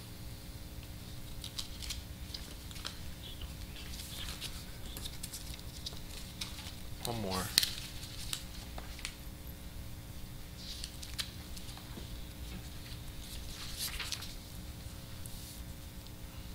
On page 23, um, it says Board of Ed Gas Gates Capital. Um, I I don't know what that is. It says Building and Ground Improvements for the Board of Education. So um, we have um, had experienced significant issues uh, accessing the gas pumps across the street, for, which is generally used by all of our police vehicles and our township fleet, as opposed to the one at DPW, which really just services the DPW um, fleet. Um, We opted to talk to the Board of Education about the township replacing those gates, and that we would then hold the responsibility of the vendor and access.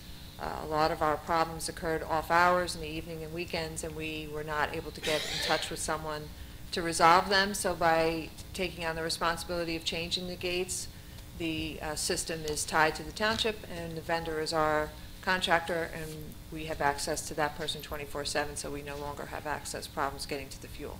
And is this the only bill for there? Is there any other monies paid out to them besides this? I'd have to check the capital budget to see how much was allocated last year for this project, and that would be the amount that we fully expect to spend.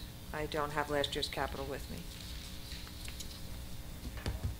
Is- is it- Yes, it's definitely more than $800. Yeah. uh, Yes. is it- So we're gonna, we're gonna pay for that so we can have access to the gas? is what you're saying, 24/7. and- 24/7. And the contract. So we drove the process on type of gates we needed to see, we drove the process on how they would work, and how our officers would access that. That was also a problem. Codes would change, systems would change, we wouldn't be notified. Um, So we are taking control of all that by replacing the gates. Okay, thank you. You're I'll- welcome. I'll, uh, I wa- I'd like to know what the total cost was. I can certainly get that for All you. right, Thank you. That's all I have. Thank you, Council President. Any other questions from council? A motion and a second? Motion. Second. A Motion by Councilman Mummolo, seconded by Councilwoman deJong. Open to the public for questions on the bill resolution. Seeing none, close public. Roll call, please. Councilman Fozman. Yes. Councilwoman Pontoriero. Yes. Councilwoman deJong. Abstain CME, yes to the rest. Councilman Mummolo. Abstain Meridian Occupational Health, yes to the rest. Councilman Halloran. Yes. Vice President Crate? Yes. President Zapcic? Yes. Thank you. Item 524. Be it resolved by the Township Council of the Township of Brick that the following bills be paid, and that the mayor and clerk be and are hereby authorized to draw orders on the treasurer for the amounts of the same. Manual bill resolution in the amount of one million, six hundred forty-four thousand, nine hundred eleven dollars and twenty-three cents. Thank you. Open to council? Seeing none, close council. Motion and a second, please. Motion. Second. Motion by Councilwoman Pontoriero, seconded by Councilman Halloran. Open to public for questions on the manual bill resolution. Seeing none, close public. Roll call, please. Councilman Fozman? Yes. Councilwoman Pontoriero? Yes. Councilwoman deJong? Abstain CME, yes to the rest. Councilman Mummolo? Yes. Councilman Halloran? Yes. Vice President Crate? Yes. President Zapcic? Yes. Thank you. Item six, ordinance on first reading. There's no public hearing on first reading. Madam Clerk. Amend Chapter 288, parking restrictions at Traders Co- Co- Cove Playground Parking Lot. Thank you. An ordinance of the Township of Brick, County of Ocean, State of New Jersey, amending the Township Code of the Township of Brick to extend the restrictions on parking in the playground parking lot at Traders Cove through the summer months. Thank you. This ordinance reestablishes a two-hour parking restriction in the playground parking lot at Traders Cove that will be in effect from May 15th to September 15th between the hours of 7 a.m. and 6 p.m. This is being done to ensure that the parking lot is being used only for the facilities and amenities at Traders Cove. The parking restriction signs installed last year are currently covered and will remain covered until this ordinance takes effect. No violations will be issued until after the ordinance goes into effect. I have a motion and a second. Motion. Second. Motion by Councilwoman Pontoriero, second by Councilman Mummolo. Open to council. Yes, Council President? Yes, I'd uh, have you have somebody ride out there and cover those signs. Pardon me? The Some of the signs aren't covered out at Traders Cove. I don't know, some are, some aren't. Somebody must have ripped them I down. know that the Recreation Department went out and covered them all, so. I was out Hogan, there and they were all, when I went out, they were all covered. Okay, because I was out there about three. Maybe that wind we had, May, if possible. I'm just letting you know. they'll check it. As of yesterday, the the No one's dock getting master sun. confirmed that they were covered, but we, he did It was, agree uh, that, Probably a week ago or so I was yeah, out he, there. need- I went out they do this need to be morning. checked regularly because of wind and Yeah, but people that, rip them that probably so happened. we I will know do some that. of them were covered, uh, Okay. only like one or two or three or something. We'll I stay went on out top of this it. morning Okay. around 10, they were all covered. Um,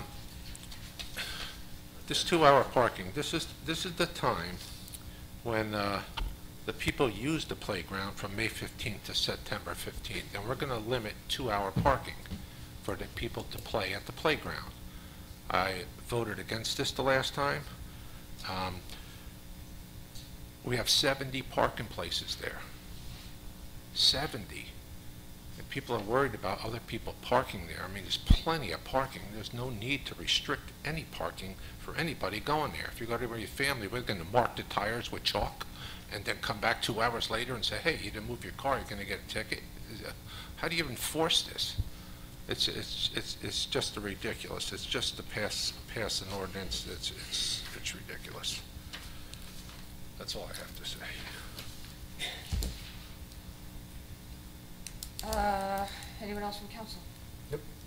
Roll call, please. Councilman Fozman? No. Councilwoman Pontoriero? Yes. Councilwoman deJong? Yes. Councilman Mummolo? Yes. Councilman Halloran? Yes. Vice President Crate? Yes. President Zapcic? Yes. Thank you. Alrighty, we are now at public comment. Please note that each person addressing the council during any section of the meeting during which public comment is permitted shall limit his or her remarks to five minutes pursuant to Brick Township Administrative Code, Section 2-33B. Thank you. Who would like to speak? Mr. Sluka?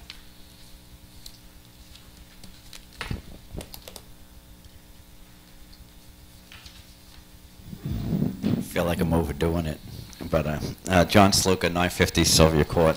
Uh, just a reminder, I know I talked to Mr. Finelli about a week ago, and he mentioned about the meeting with people talking in gestures and stuff like that on the dais and in the audience.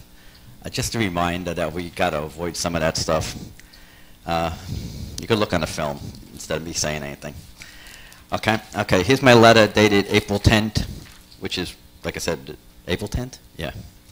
Uh, Mayor Ducey, uh, Council President Andy Zapcic, councilmen and councilwomen, plus all the people in Brick and Ocean County. Uh, I was so glad to hear that Councilman Fozman sent a letter to Powers and Trenton in support of a pollution wall for Evergreen Wood residents. I was also glad to hear the mayor spoke to aides of the governor and the head of state, of the state senate at the meeting in Mercer County, where he urged the governor to come to Brick and view, smell, and hear the results of the devastation, the pollution, and the noise of the Garden State Parkway on the surrounding communities.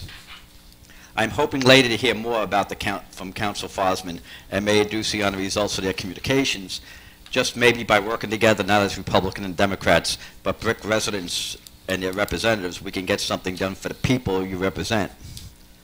I once said that I wish we didn't have political parties in Brick, so people who sought office would do so to help the citizens and not their own prestige or be responsible only to political parties.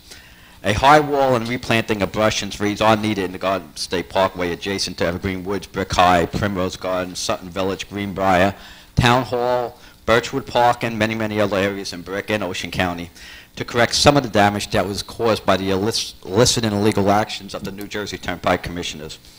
Unfortunately, the wheels of government move slowly and often too slowly, but we must remain strong and adamant about what is truly needed to save the lives of our seniors and the health of our children. If you live or work near the Garden State Parkway, you are at risk. Some taxpayers, paid employees of the township, the county, the state, may want to bury their heads in the sand and not seek the truth about the toxins killing our seniors, harming our children, and hurting the development of babies yet to be born and mothers to be. But instead of criticizing residents, they should go to the hospitals, the libraries, the newspapers in order to seek the truth. The Board of Education stated that we have 1,830 special needs children out of 8,500 in our school system, about 22%. Does anyone truly believe we are all just having abnormal pregnancies and the environment has no impact? There have been many studies brought before this council and the commissioners and the county politicians, the newspapers and local leaders, uh, but little gets done and it, is, it does become disheartening. Some may want to believe that the truth, want to believe the truth, but they will not investigate for themselves. They will not ask the hospitals, medical doctors, and nurses. They will not ask the head librarian for help in finding studies on highway pollution, asthma, autism, and COPD. Some may be afraid of the truth and would rather have a false sense of security in the belief that they cannot be harmed by the toxins from autos and trucks, but they are only fooling themselves. Some may believe the bureaucrats of the New Jersey Turnpike Authority or the powerful people, people who profiteer at the expense of the health of tens of thousands of Ocean County residents, but we all should investigate for ourselves. I urge every citizen to go to the hospitals. Ask the doctors and nurses if toxins are, at least in part, responsible for asthma, autism, COPD, and premature deaths. I urge every citizen to go to the library. Spend some time on their computers to see the highway traffic pollutions are at least partially responsible for the high rate of autism in our school children and COPD of our seniors. The time for action is now. And we all must add some grease to the slow-moving wheels associated with government. With the last few seconds, let me thank Councilwoman Pontoriero for bringing attention to the cancer risk and the awareness that should be taken by dentists.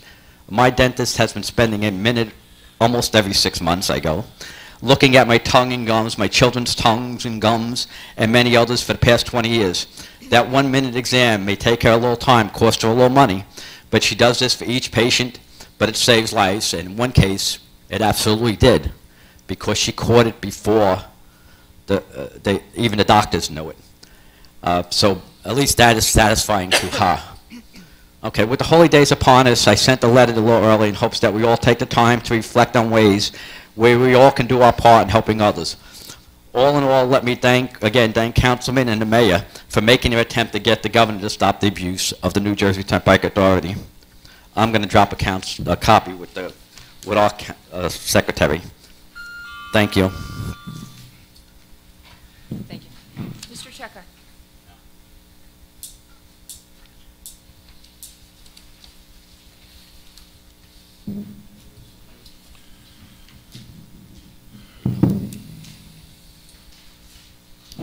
Bob Checkeye, 127 Royal Drive. Um, I just I'd just like to go over a few things with the French's landfill. Um, We have a 15-year contract with them. The reason for that is, um, in order to build it, they needed a lot of money, obviously. The town could have borrowed money and built it, but that would have been a lot, a lot costlier. So the town issued the bonds to them, and they pay back the bonds, or supposed to pay back the bonds. The, um, got a brain fart. All right, so in 15 years, we own that. The reason they went with 15 years was because after 15 years, you don't collect any SRECs. So they got the SRECs money, and they got a good deal to fund the thing, to build it. Okay, so um, when we own it in 15 years, our electric bills, which according to this paper in 2018 was $1 million, and in 2019 was 835. Our elect, those electric bills will go to half, because if you look at your electric bill, half of the bill is delivery charge, half of the bill is for the electricity. You're not going to be paying for the electricity, so right there you're saving hundreds of thousands of dollars when that happens.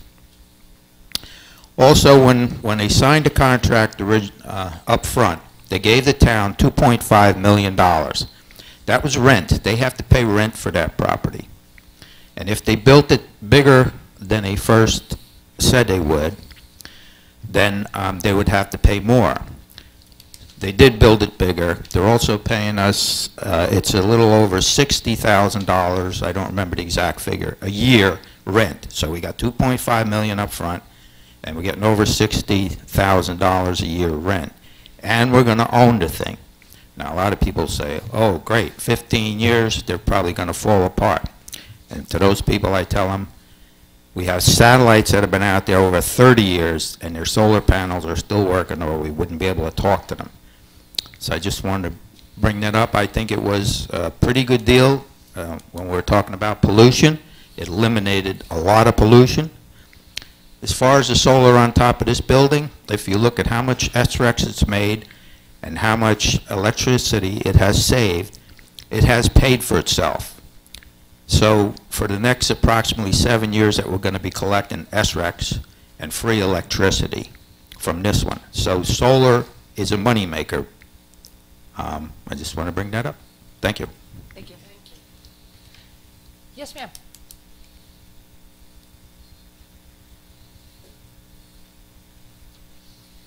Carrie Maloney, 850 Marlborough Ave. Um, I just want to bring up the fact of how gross our parks and beaches have become with the amount of garbage recently. I took my daughter to Windward Park last weekend, last Tuesday. I couldn't find the parks. There was so much garbage everywhere. And it's not just one word, it's all the, all the parks in this town. We have spent a lot of money recently reviving everything. I just want to know what, what steps are we going to be able to take to be able to clean up our parks? There was children spitting all over the equipment. I couldn't get near it. I couldn't even find the playground equipment because of the amount of children on it. It was completely disgusting. And I have now been sick for almost two weeks because of this. People were just urinating everywhere, bathing in the beach water, spitting on everything. It was completely disgusting. I have pictures of proof. I have other people with pictures of proof. We can sit there and we can find people all day for loitering and littering, but if they're going to sit there and spit on the ground and throw their garbage on the ground, how is that going to help us? How are we going to be able to sit there and ensure that our children are going to be safe at our parks and our beaches? This is, my, I can't take my six-month-old daughter to a park because it's disgusting. What, what can we do? What other actions can we take? I mean, there's a brand new park down the street. I'm scared to take my daughter there now because of how disgusting it may be from other people just completely destroying it. What actions can we now take to ensure that this is not going to happen? It's- Our Parks Department goes out on a regular basis and cleans, correct?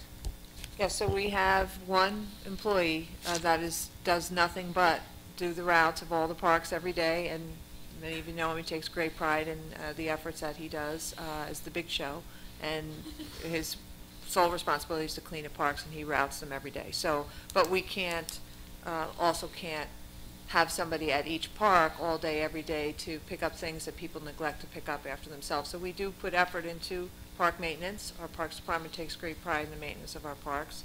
I guess the second prong in that answer, uh, Councilwoman for me would be the um, park security that we have in place. And it's a seasonal um, role that we uh, created. And we have a retired uh, police officer that goes to all of our parks every day.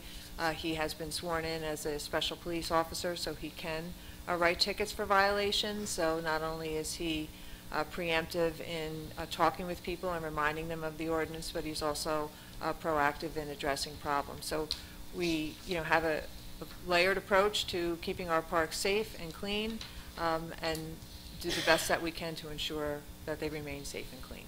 So I I have two questions. Um, One is the, the the Parks Maintenance employee.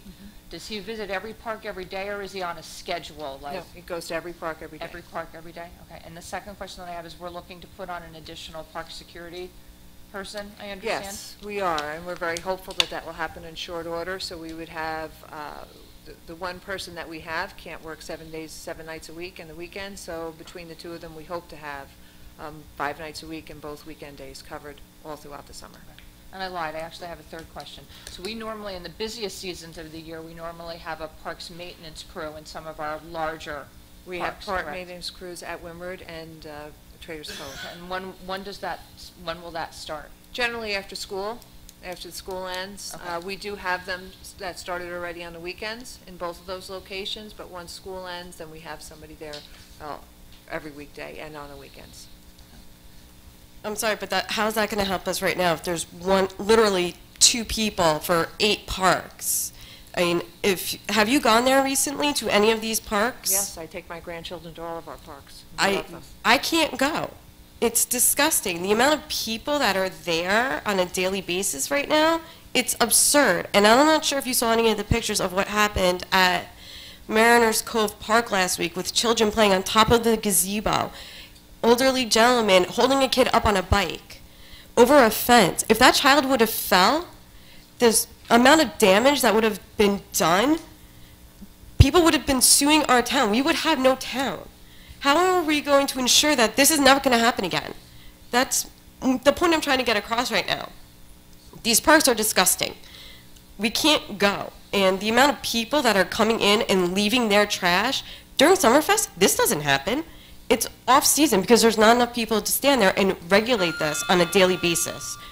How can we help fix this problem?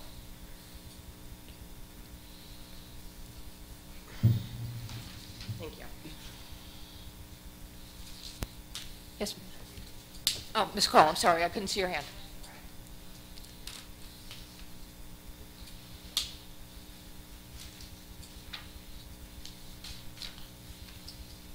And Carl, 18 Greenbrier, oh, Nan or Ran, both of them apply. 18 Greenbrier Boulevard. Uh, So much to cover, so little time allotted. And I have no respect anymore for our town, our state, our federal government. And I wonder why this government exists. What is your purpose? What are you supposed to be doing? When I came here, you'll notice that this agenda says caucus slash public meeting. I've mentioned it before, and I'm going to keep mentioning it more and more. When I came here, it was Mayor Scarpelli. And I don't give him credit for too much, but I do give him credit for listening to the people and allotting as much time as was needed for the people to talk. We had a caucus meeting one week, the public voting meeting the next week. We discussed everything on the agenda that would be voted on in depth, but we also got out things that were bothering us, like reading what's going on in the Twitter war and going on between mayors and statements. The first one, Twitter, that I read started the whole thing. Actually was filled with inaccuracies. but the response to it was totally unbelievable. I would expect an attorney and the mayor to have better comprehension of the use of interpersonal relationships and what to do for the people.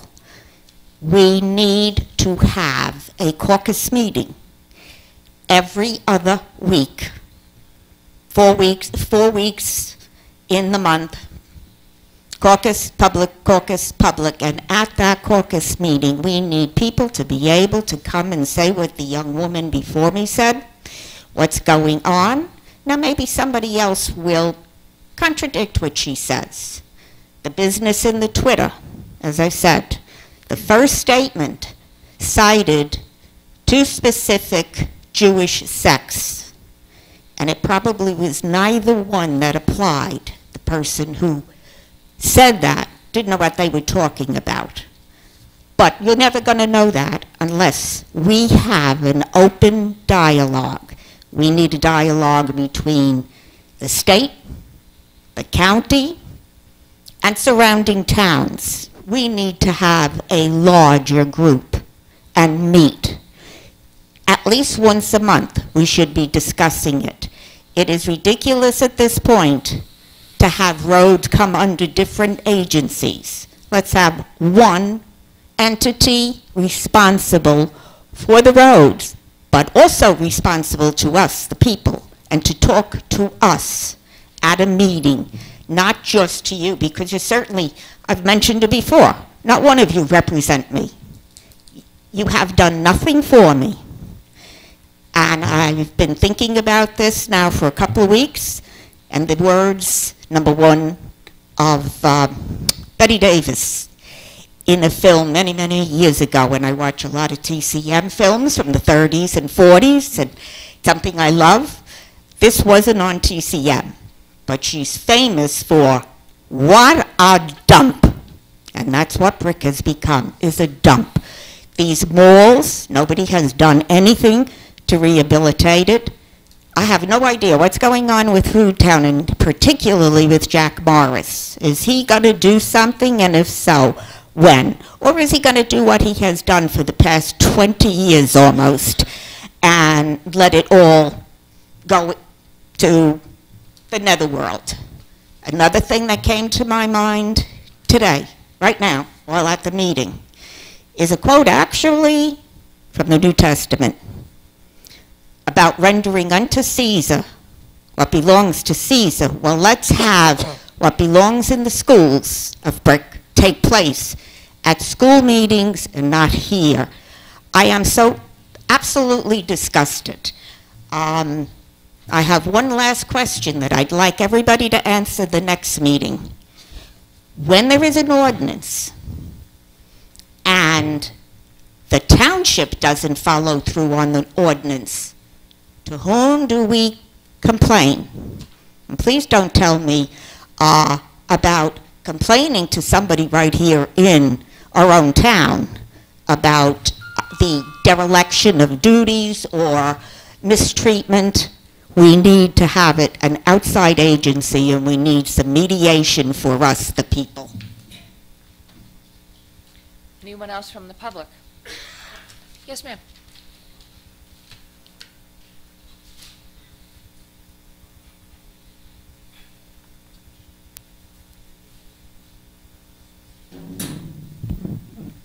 Roxanne Jones of um, West Princeton Avenue. Um, I would like to echo the concerns of the young mother that came up to speak about the condition of our parks. I haven't been to one this year yet, but I remember the last time I went last year going to Windward Beach, beautiful. You know, it's a great place to walk, and last year I went to Trader's Cove off of Mantoloking. I took pictures to hear that these places have become garbage dumps virtually, that they're being littered, and that people are exercising unsanitary behaviors. I think we need more than just two people for the security and the maintenance, respectively. In fact, I thought that we had more people doing maintenance for our parks. You know, tourist season's coming up. if the out, if the people from out of town see what the things are like here, they may take their um, money to Toms River. Thank you. Thank you. Anyone else from the public? Seeing none, close public. Mrs. Bergen. No comments other than to offer Councilman Halloran a very happy birthday. Mayor. Mayor Ducey. Thank you.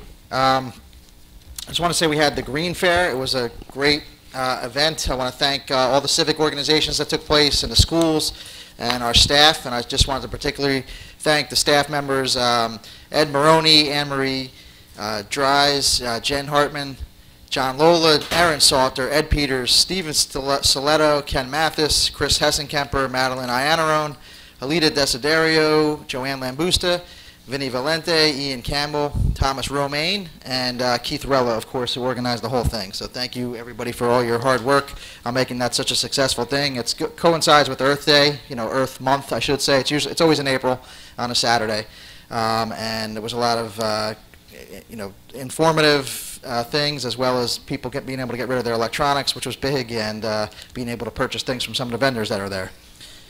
Um, we have uh, some upcoming events. So Temple Beth Or and the Living, Family, Living Faith Bible Church, they're co-hosting a Holocaust memorial commemoration. Um, it's going to take place at Temple Beth Or. It's on this Sunday, May 5th at 4 p.m. And it's open to all faiths. That's why they're co-hosting it. Um, so please uh, come out to that great uh, commemoration of the Holocaust memorial. That's going to be very touching and a uh, appropriate thing uh, due to the, you know, this, this uh, week being the uh, Holocaust Memorial Week uh, that was declared by our president. Um, Senior Citizen Prom will be held on Friday, May 10th. It's an intergenerational event, meaning it's uh, senior citizens along with seniors and juniors in high school. It's co-hosted by with us uh, here in Brick Township with the Brick Schools. Uh, call Recreation to register, 732-262-1076. And if you've never gone before, it's an excellent event. We have um, a band that plays all sorts of, uh, you know, oldies music, and it's got the whole big horn section, and there's a king and queen and a prom court that are named. Uh, and it's uh, on, and the kids are just the volunteers to help uh, they, they're the waiters and the waitresses, and they uh, you know clean up after the prom, and uh, you know dance with everybody if they don't have partners. If you do have partners, bring them. Um, next thing is Kids to Parks Day is Saturday, May 18th. Uh, again, you have to register through Recreation. This number is 732-262-4622. It starts at 9 o'clock in the morning on Saturday, May 18th, and takes an awesome uh, bus ride to uh, four of our parks uh, to show exactly everybody what's out there. As everybody knows, we've redone uh, almost all of our parks here on the mainland. We have a, you know, a few more to go, one on the Barrier Island and two more pocket parks here, but uh, the rest of them are uh, redone, and, and it includes a lunch, and it's a free event. So, uh, you know, Kids to Parks Day, come take advantage and just see what awesome amenities we have around town. Um, our farmers market also begins Saturday, May 18th, and that's 9 a.m. to 2 p.m. It's every single Saturday beginning May 18th all the way to September. Uh, lastly, I just want to wish all the moms a happy Mother Day, Mother's Day, including my wife Deirdre, uh, who's the mother of my son Jack, and my mom as well. So happy Mother's Day to my both relatives, but every every mother that's out there. That's obviously Sunday, May 12th. So don't forget to buy uh, your mom's presents. Thank you. Mr. Starkey. Madam Clerk? Nothing, thank you. Madam Secretary? Nothing, thank you. Councilman Fozman? Thank you, Council President. Um, First off, congratulations to all the students of the month. And on April 11th, oh, uh, it was my pleasure to attend the Ocean Medical Center Hackensack Meridian Health uh, of- official ribbon cutting ceremony for their think tank. It's called the Bears Den. And uh, this is a room that is dedicated to employees who have ideas and how to improve the care of patients and the operation of the hospital. It was very unique. They have a computer in there, so anybody feels like they can have an idea or anything, they just go in there, put it on the computer. So it's pretty good. Um, on April 13, I participated in the Clean Ocean Action Spring Cleanup at Brick Beach 1, as I do every year, and um, the cleanup uh, was in partnership with the Hackensack Meridian uh, Health. Uh, Following the cleanup, I attended the annual Green Fair held at the Brick High School. The presentations by the children of our schools were amazing. Um, It was my honor to attend the Brick Fallen Heroes from the Civil War to Iraq, Brick Boys who went off to the war and didn't come home. I'd like to thank uh, William Duffy for all his research and the spearheading the Brick Fallen Heroes. The banners were amazing there. When they put them out there on the road, they listed all the heroes uh, that didn't return. And uh, about Traders Cove, that's all Green Acres. Anybody can go there. It's, it's a public park. Um, Limiting the parking there, I think, is ridiculous. And uh, we're trying to get the kids out of the house, not put them back in, you know, so they can get out there. Um, And happy Mother's Day to everybody. And I do have one other thing to say, and it's called Words Matter. Uh, Leaders who use pow- power of social media to connect with voters do and need to do so much, so much with extreme care. Using words to build confidence in government is a way to go.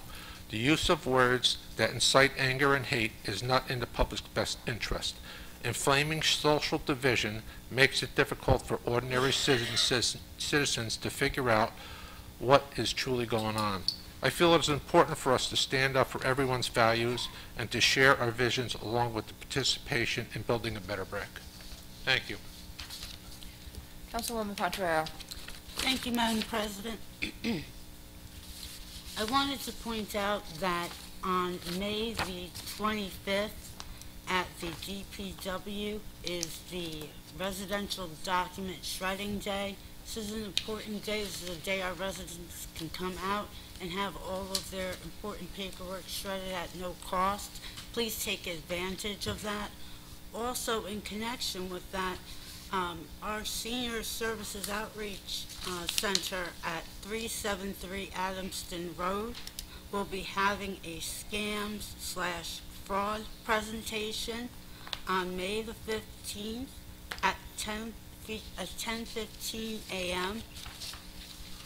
This program is something that's very much needed at this point in time. Uh, My mother called me about three days ago sobbing because she thought that Social Security was going to be taking away some of her money because a gentleman who identified himself as Mark from Social Security and gave an ID number threatened my mother with incarceration. Um, and there was nothing I could say to her that would relieve her of the complete panic she was in until I actually called Social Security on three-way.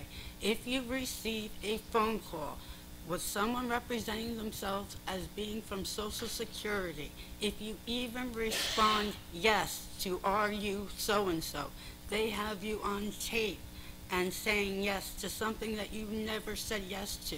Hang up the phone immediately. You will not be contacted by Social Security other than in written form. So please, this isn't just for seniors, this is for all of us, but especially our most vulnerable seniors who, like my mother, you don't know necessarily in this day and age what's done over the phone, what's done on the computer. I also took the opportunity to wipe through her emails and I found four separate similar scams in her inbox. So this program is provided by the Ocean County Consumer Affairs Department. Again, Wednesday, May 15th at 10:15 a.m. Uh, I want to send my deepest condolences to Joanne Bergen on her recent loss and wish a wonderful and happy Mother's Day to my mother and my mother-in-law and all the mother figures in my life. But my thoughts will be particularly with Miss Bergen on this Mother's Day. Thank you. Thank you. Councilwoman Deal. Yes, thank you.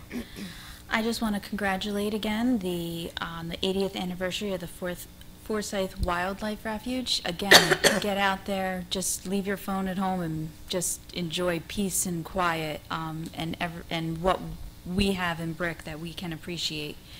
I also want to thank Mo for coming out um, this evening and answering and also attempting to answer um, questions. And thank you so much for all of your hard work on our budget this year. You really put together a fiscally conservative budget that we can be proud of um, for our residents and for uh, the future years to come. So again, thank you, Mo. That's all I have this evening. Thank you. Councilman Mummolo. Thank you. Congratulations, Students of the Month.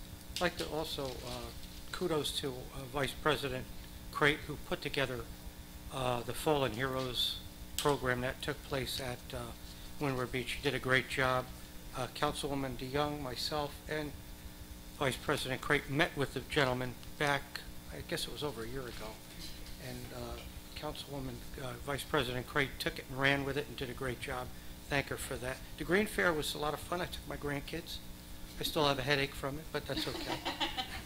Uh, Happy birthday to my favorite councilman, Halloran, sitting next to me. And uh, happy Mother's Day to all the moms out there. Thank you. Councilman Halloran. Thank you. Uh, I'm just going to keep it short and sweet. Happy Mother's Day to all the mothers out there and all the mothers who are no longer with us, um, who uh, cared for us dearly and uh, made us what we are. Thank you. Council Vice President. Happy birthday. Thank you. Uh, I just wanted to make a few announcements. The first one is I neglected to say at the last council meeting that there is a new set of Take Five photo contest um, contestants that are now on display out in the hall. Uh, Those um, on display are Michael Sales, Carol Granger, and Rita English. So when you, as you enter or exit the building, I invite you to stop by that display so that you can see their photographs that they've taken. I also wanted to thank everyone that came out for the Brick Fallen Heroes ceremony on Saturday, although it was a bit windy. The sun did hold, and it was actually quite a lovely day, especially once we got up to the top of the hill where the banners were on display. Really wasn't too bad up there. Uh, I want to especially thanks Bill, thank Bill Duffy for all of his hard work in doing the research and providing all the information to us so that we could properly, uh, you know, um, honor these fallen heroes in brick. I also want to send some thank yous out to our DPW, Ken Mathis, uh, the men in our sign shop, uh, Rob, uh, Bob Lukowitz, John Costa, and who worked on covering those banners in the high winds and keeping them covered throughout the display so that when we got up to the top of the hill, there was actually something to unveil. Um, Dan Liebenthal, uh, the road crew, Anthony Venturino, Juan Bravo, Kurt Gardner, Alex Hahn. From Parks and Recreation, Dan Santinello and Chris Hessenkemper, they were um, really helpful in getting this entire event together, and they were also the ones that came up with the idea for the plaques that are now on the poles as well, so that, um, just to be understood, those banners will be up in future years from Memorial Day to Veterans Day, but we're going to take them down in the wintertime because obviously the weather is harsher at that point, and we really want to keep them well preserved. So at the time when the banners are not on display during the winter months, those plaques will still be affixed to the posts so that there's still an honorarium for those men. Uh, I also wanted to thank John Lola, who was in charge of the sound system. Considering how windy it was, I'm pretty sure everyone could still hear, still hear everyone that was up at, this, at the podium. And finally, uh, I just want to take a few minutes.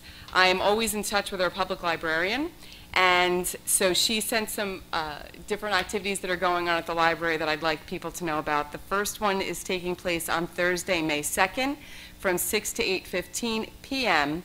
It's Stress, Sleep, and Sound with uh, Dalian, also known as 13 Hands, a stress-reducing interactive presentation and concert supporting parasympathetic nervous system response sleep, positive mood, and general immunity with Grammy nominee Dalian, also known as 13 Hands. There's also an Alzheimer's workshop series beginning Wednesday, May 15th, and also taking place on May 22nd from 2 to 5 p.m. In partnership with the Alzheimer's Association, this series of programs will focus on the early and middle stages of Alzheimer's and will include resources for caregivers. Also, they're going to have a musical concert, the Blue Suede Quartet, on Saturday, May 4th from 2 to 3 p.m. Enjoy a retro tribute to the rockabilly sounds of Elvis Presley, Jerry Lee Lewis, Carl Perkins, Johnny Cash, Roy Orbison, and others. And although Earth Day is past, they do have two events on Thursday, May 2nd from 2 to 3, Jersey Friendly Yards, Landscaping for a Healthier Barnegat Bay. Uh, what we do in our yards has a direct impact on our health and the health of the Barnegat Bay. Learn how to create a beautiful, low-maintenance, bay-friendly landscape using jerseyyards.org. Get inspired by examples of successful Jersey-friendly gardens. And it's presented by the Barnegat Bay Partnership and the Ocean County Soil Conservation District. And finally, my favorite subject, uh, that I couldn't get the word right a couple of weeks ago. Monday, May 6th, from 2 to 3 p.m., home composting. Let's get cooking. Gather up the right ingredients and tools and get ready to make something wonderful for your garden and your world. Learn how easy and inexpensive it is to make your own compost. We'll cover the basics of how to build and maintain a compost pile, and topics will include different types of compost bins and the benefits of composting. So uh, I have a compost thing in my yard and I love it. We just emptied it out and are, we're ready for gardening. So happy Mother's Day to everyone. Thanks for letting me have a couple of extra minutes tonight and that's it. Thank you very much. I'd like to congratulate our students of the month and thank them all for coming out this evening. Um, I also want to talk about our, our recreation department. So we have, in addition to um, a number of youth sport, independent youth sports organizations that are very vibrant and robust and offer a lot of great athletic programs to uh, the youth of our town. There are two competitive, there's, well, now three because they added wrestling last year, but there are three competitive programs that are actually run in-house by the recreation department. One is the youth wrestling program that we just took on last year. One is the boys and girls softball program that runs from the fall into the, into the winter months. And then we also have a girls softball program. Um, all three of those leagues were actually um, taken over, no, I wouldn't say taken over, they, they were sort of um, absorbed by the recreation department as the, the efforts were being run privately, and the folks that were running it as a private enterprise were really not interested in, in doing it anymore. Um, the oldest of those programs is the girls softball program. And Debbie Graham has been running that program first independently and then um, as a recreation department employee for 50 years. She just celebrated her 50th year, and she was recognized with a plaque by the recreation department. And I have the pleasure to work with Debbie for many years. I, there is not a, a, a, a more fierce advocate for uh, female sports, um, young women in athletics um, in Brick Township that, that I'm aware of. So I would just want to take a moment tonight to congratulate Debbie on 50 years of service and to thank her for serving our, our generations, really, over 50 years, generations of young women um, in girls softball in Brick Township. And that's all I have. Our next meeting will be on Tuesday, May 14th at 7 PM. The motion to adjourn? All in favor? Aye.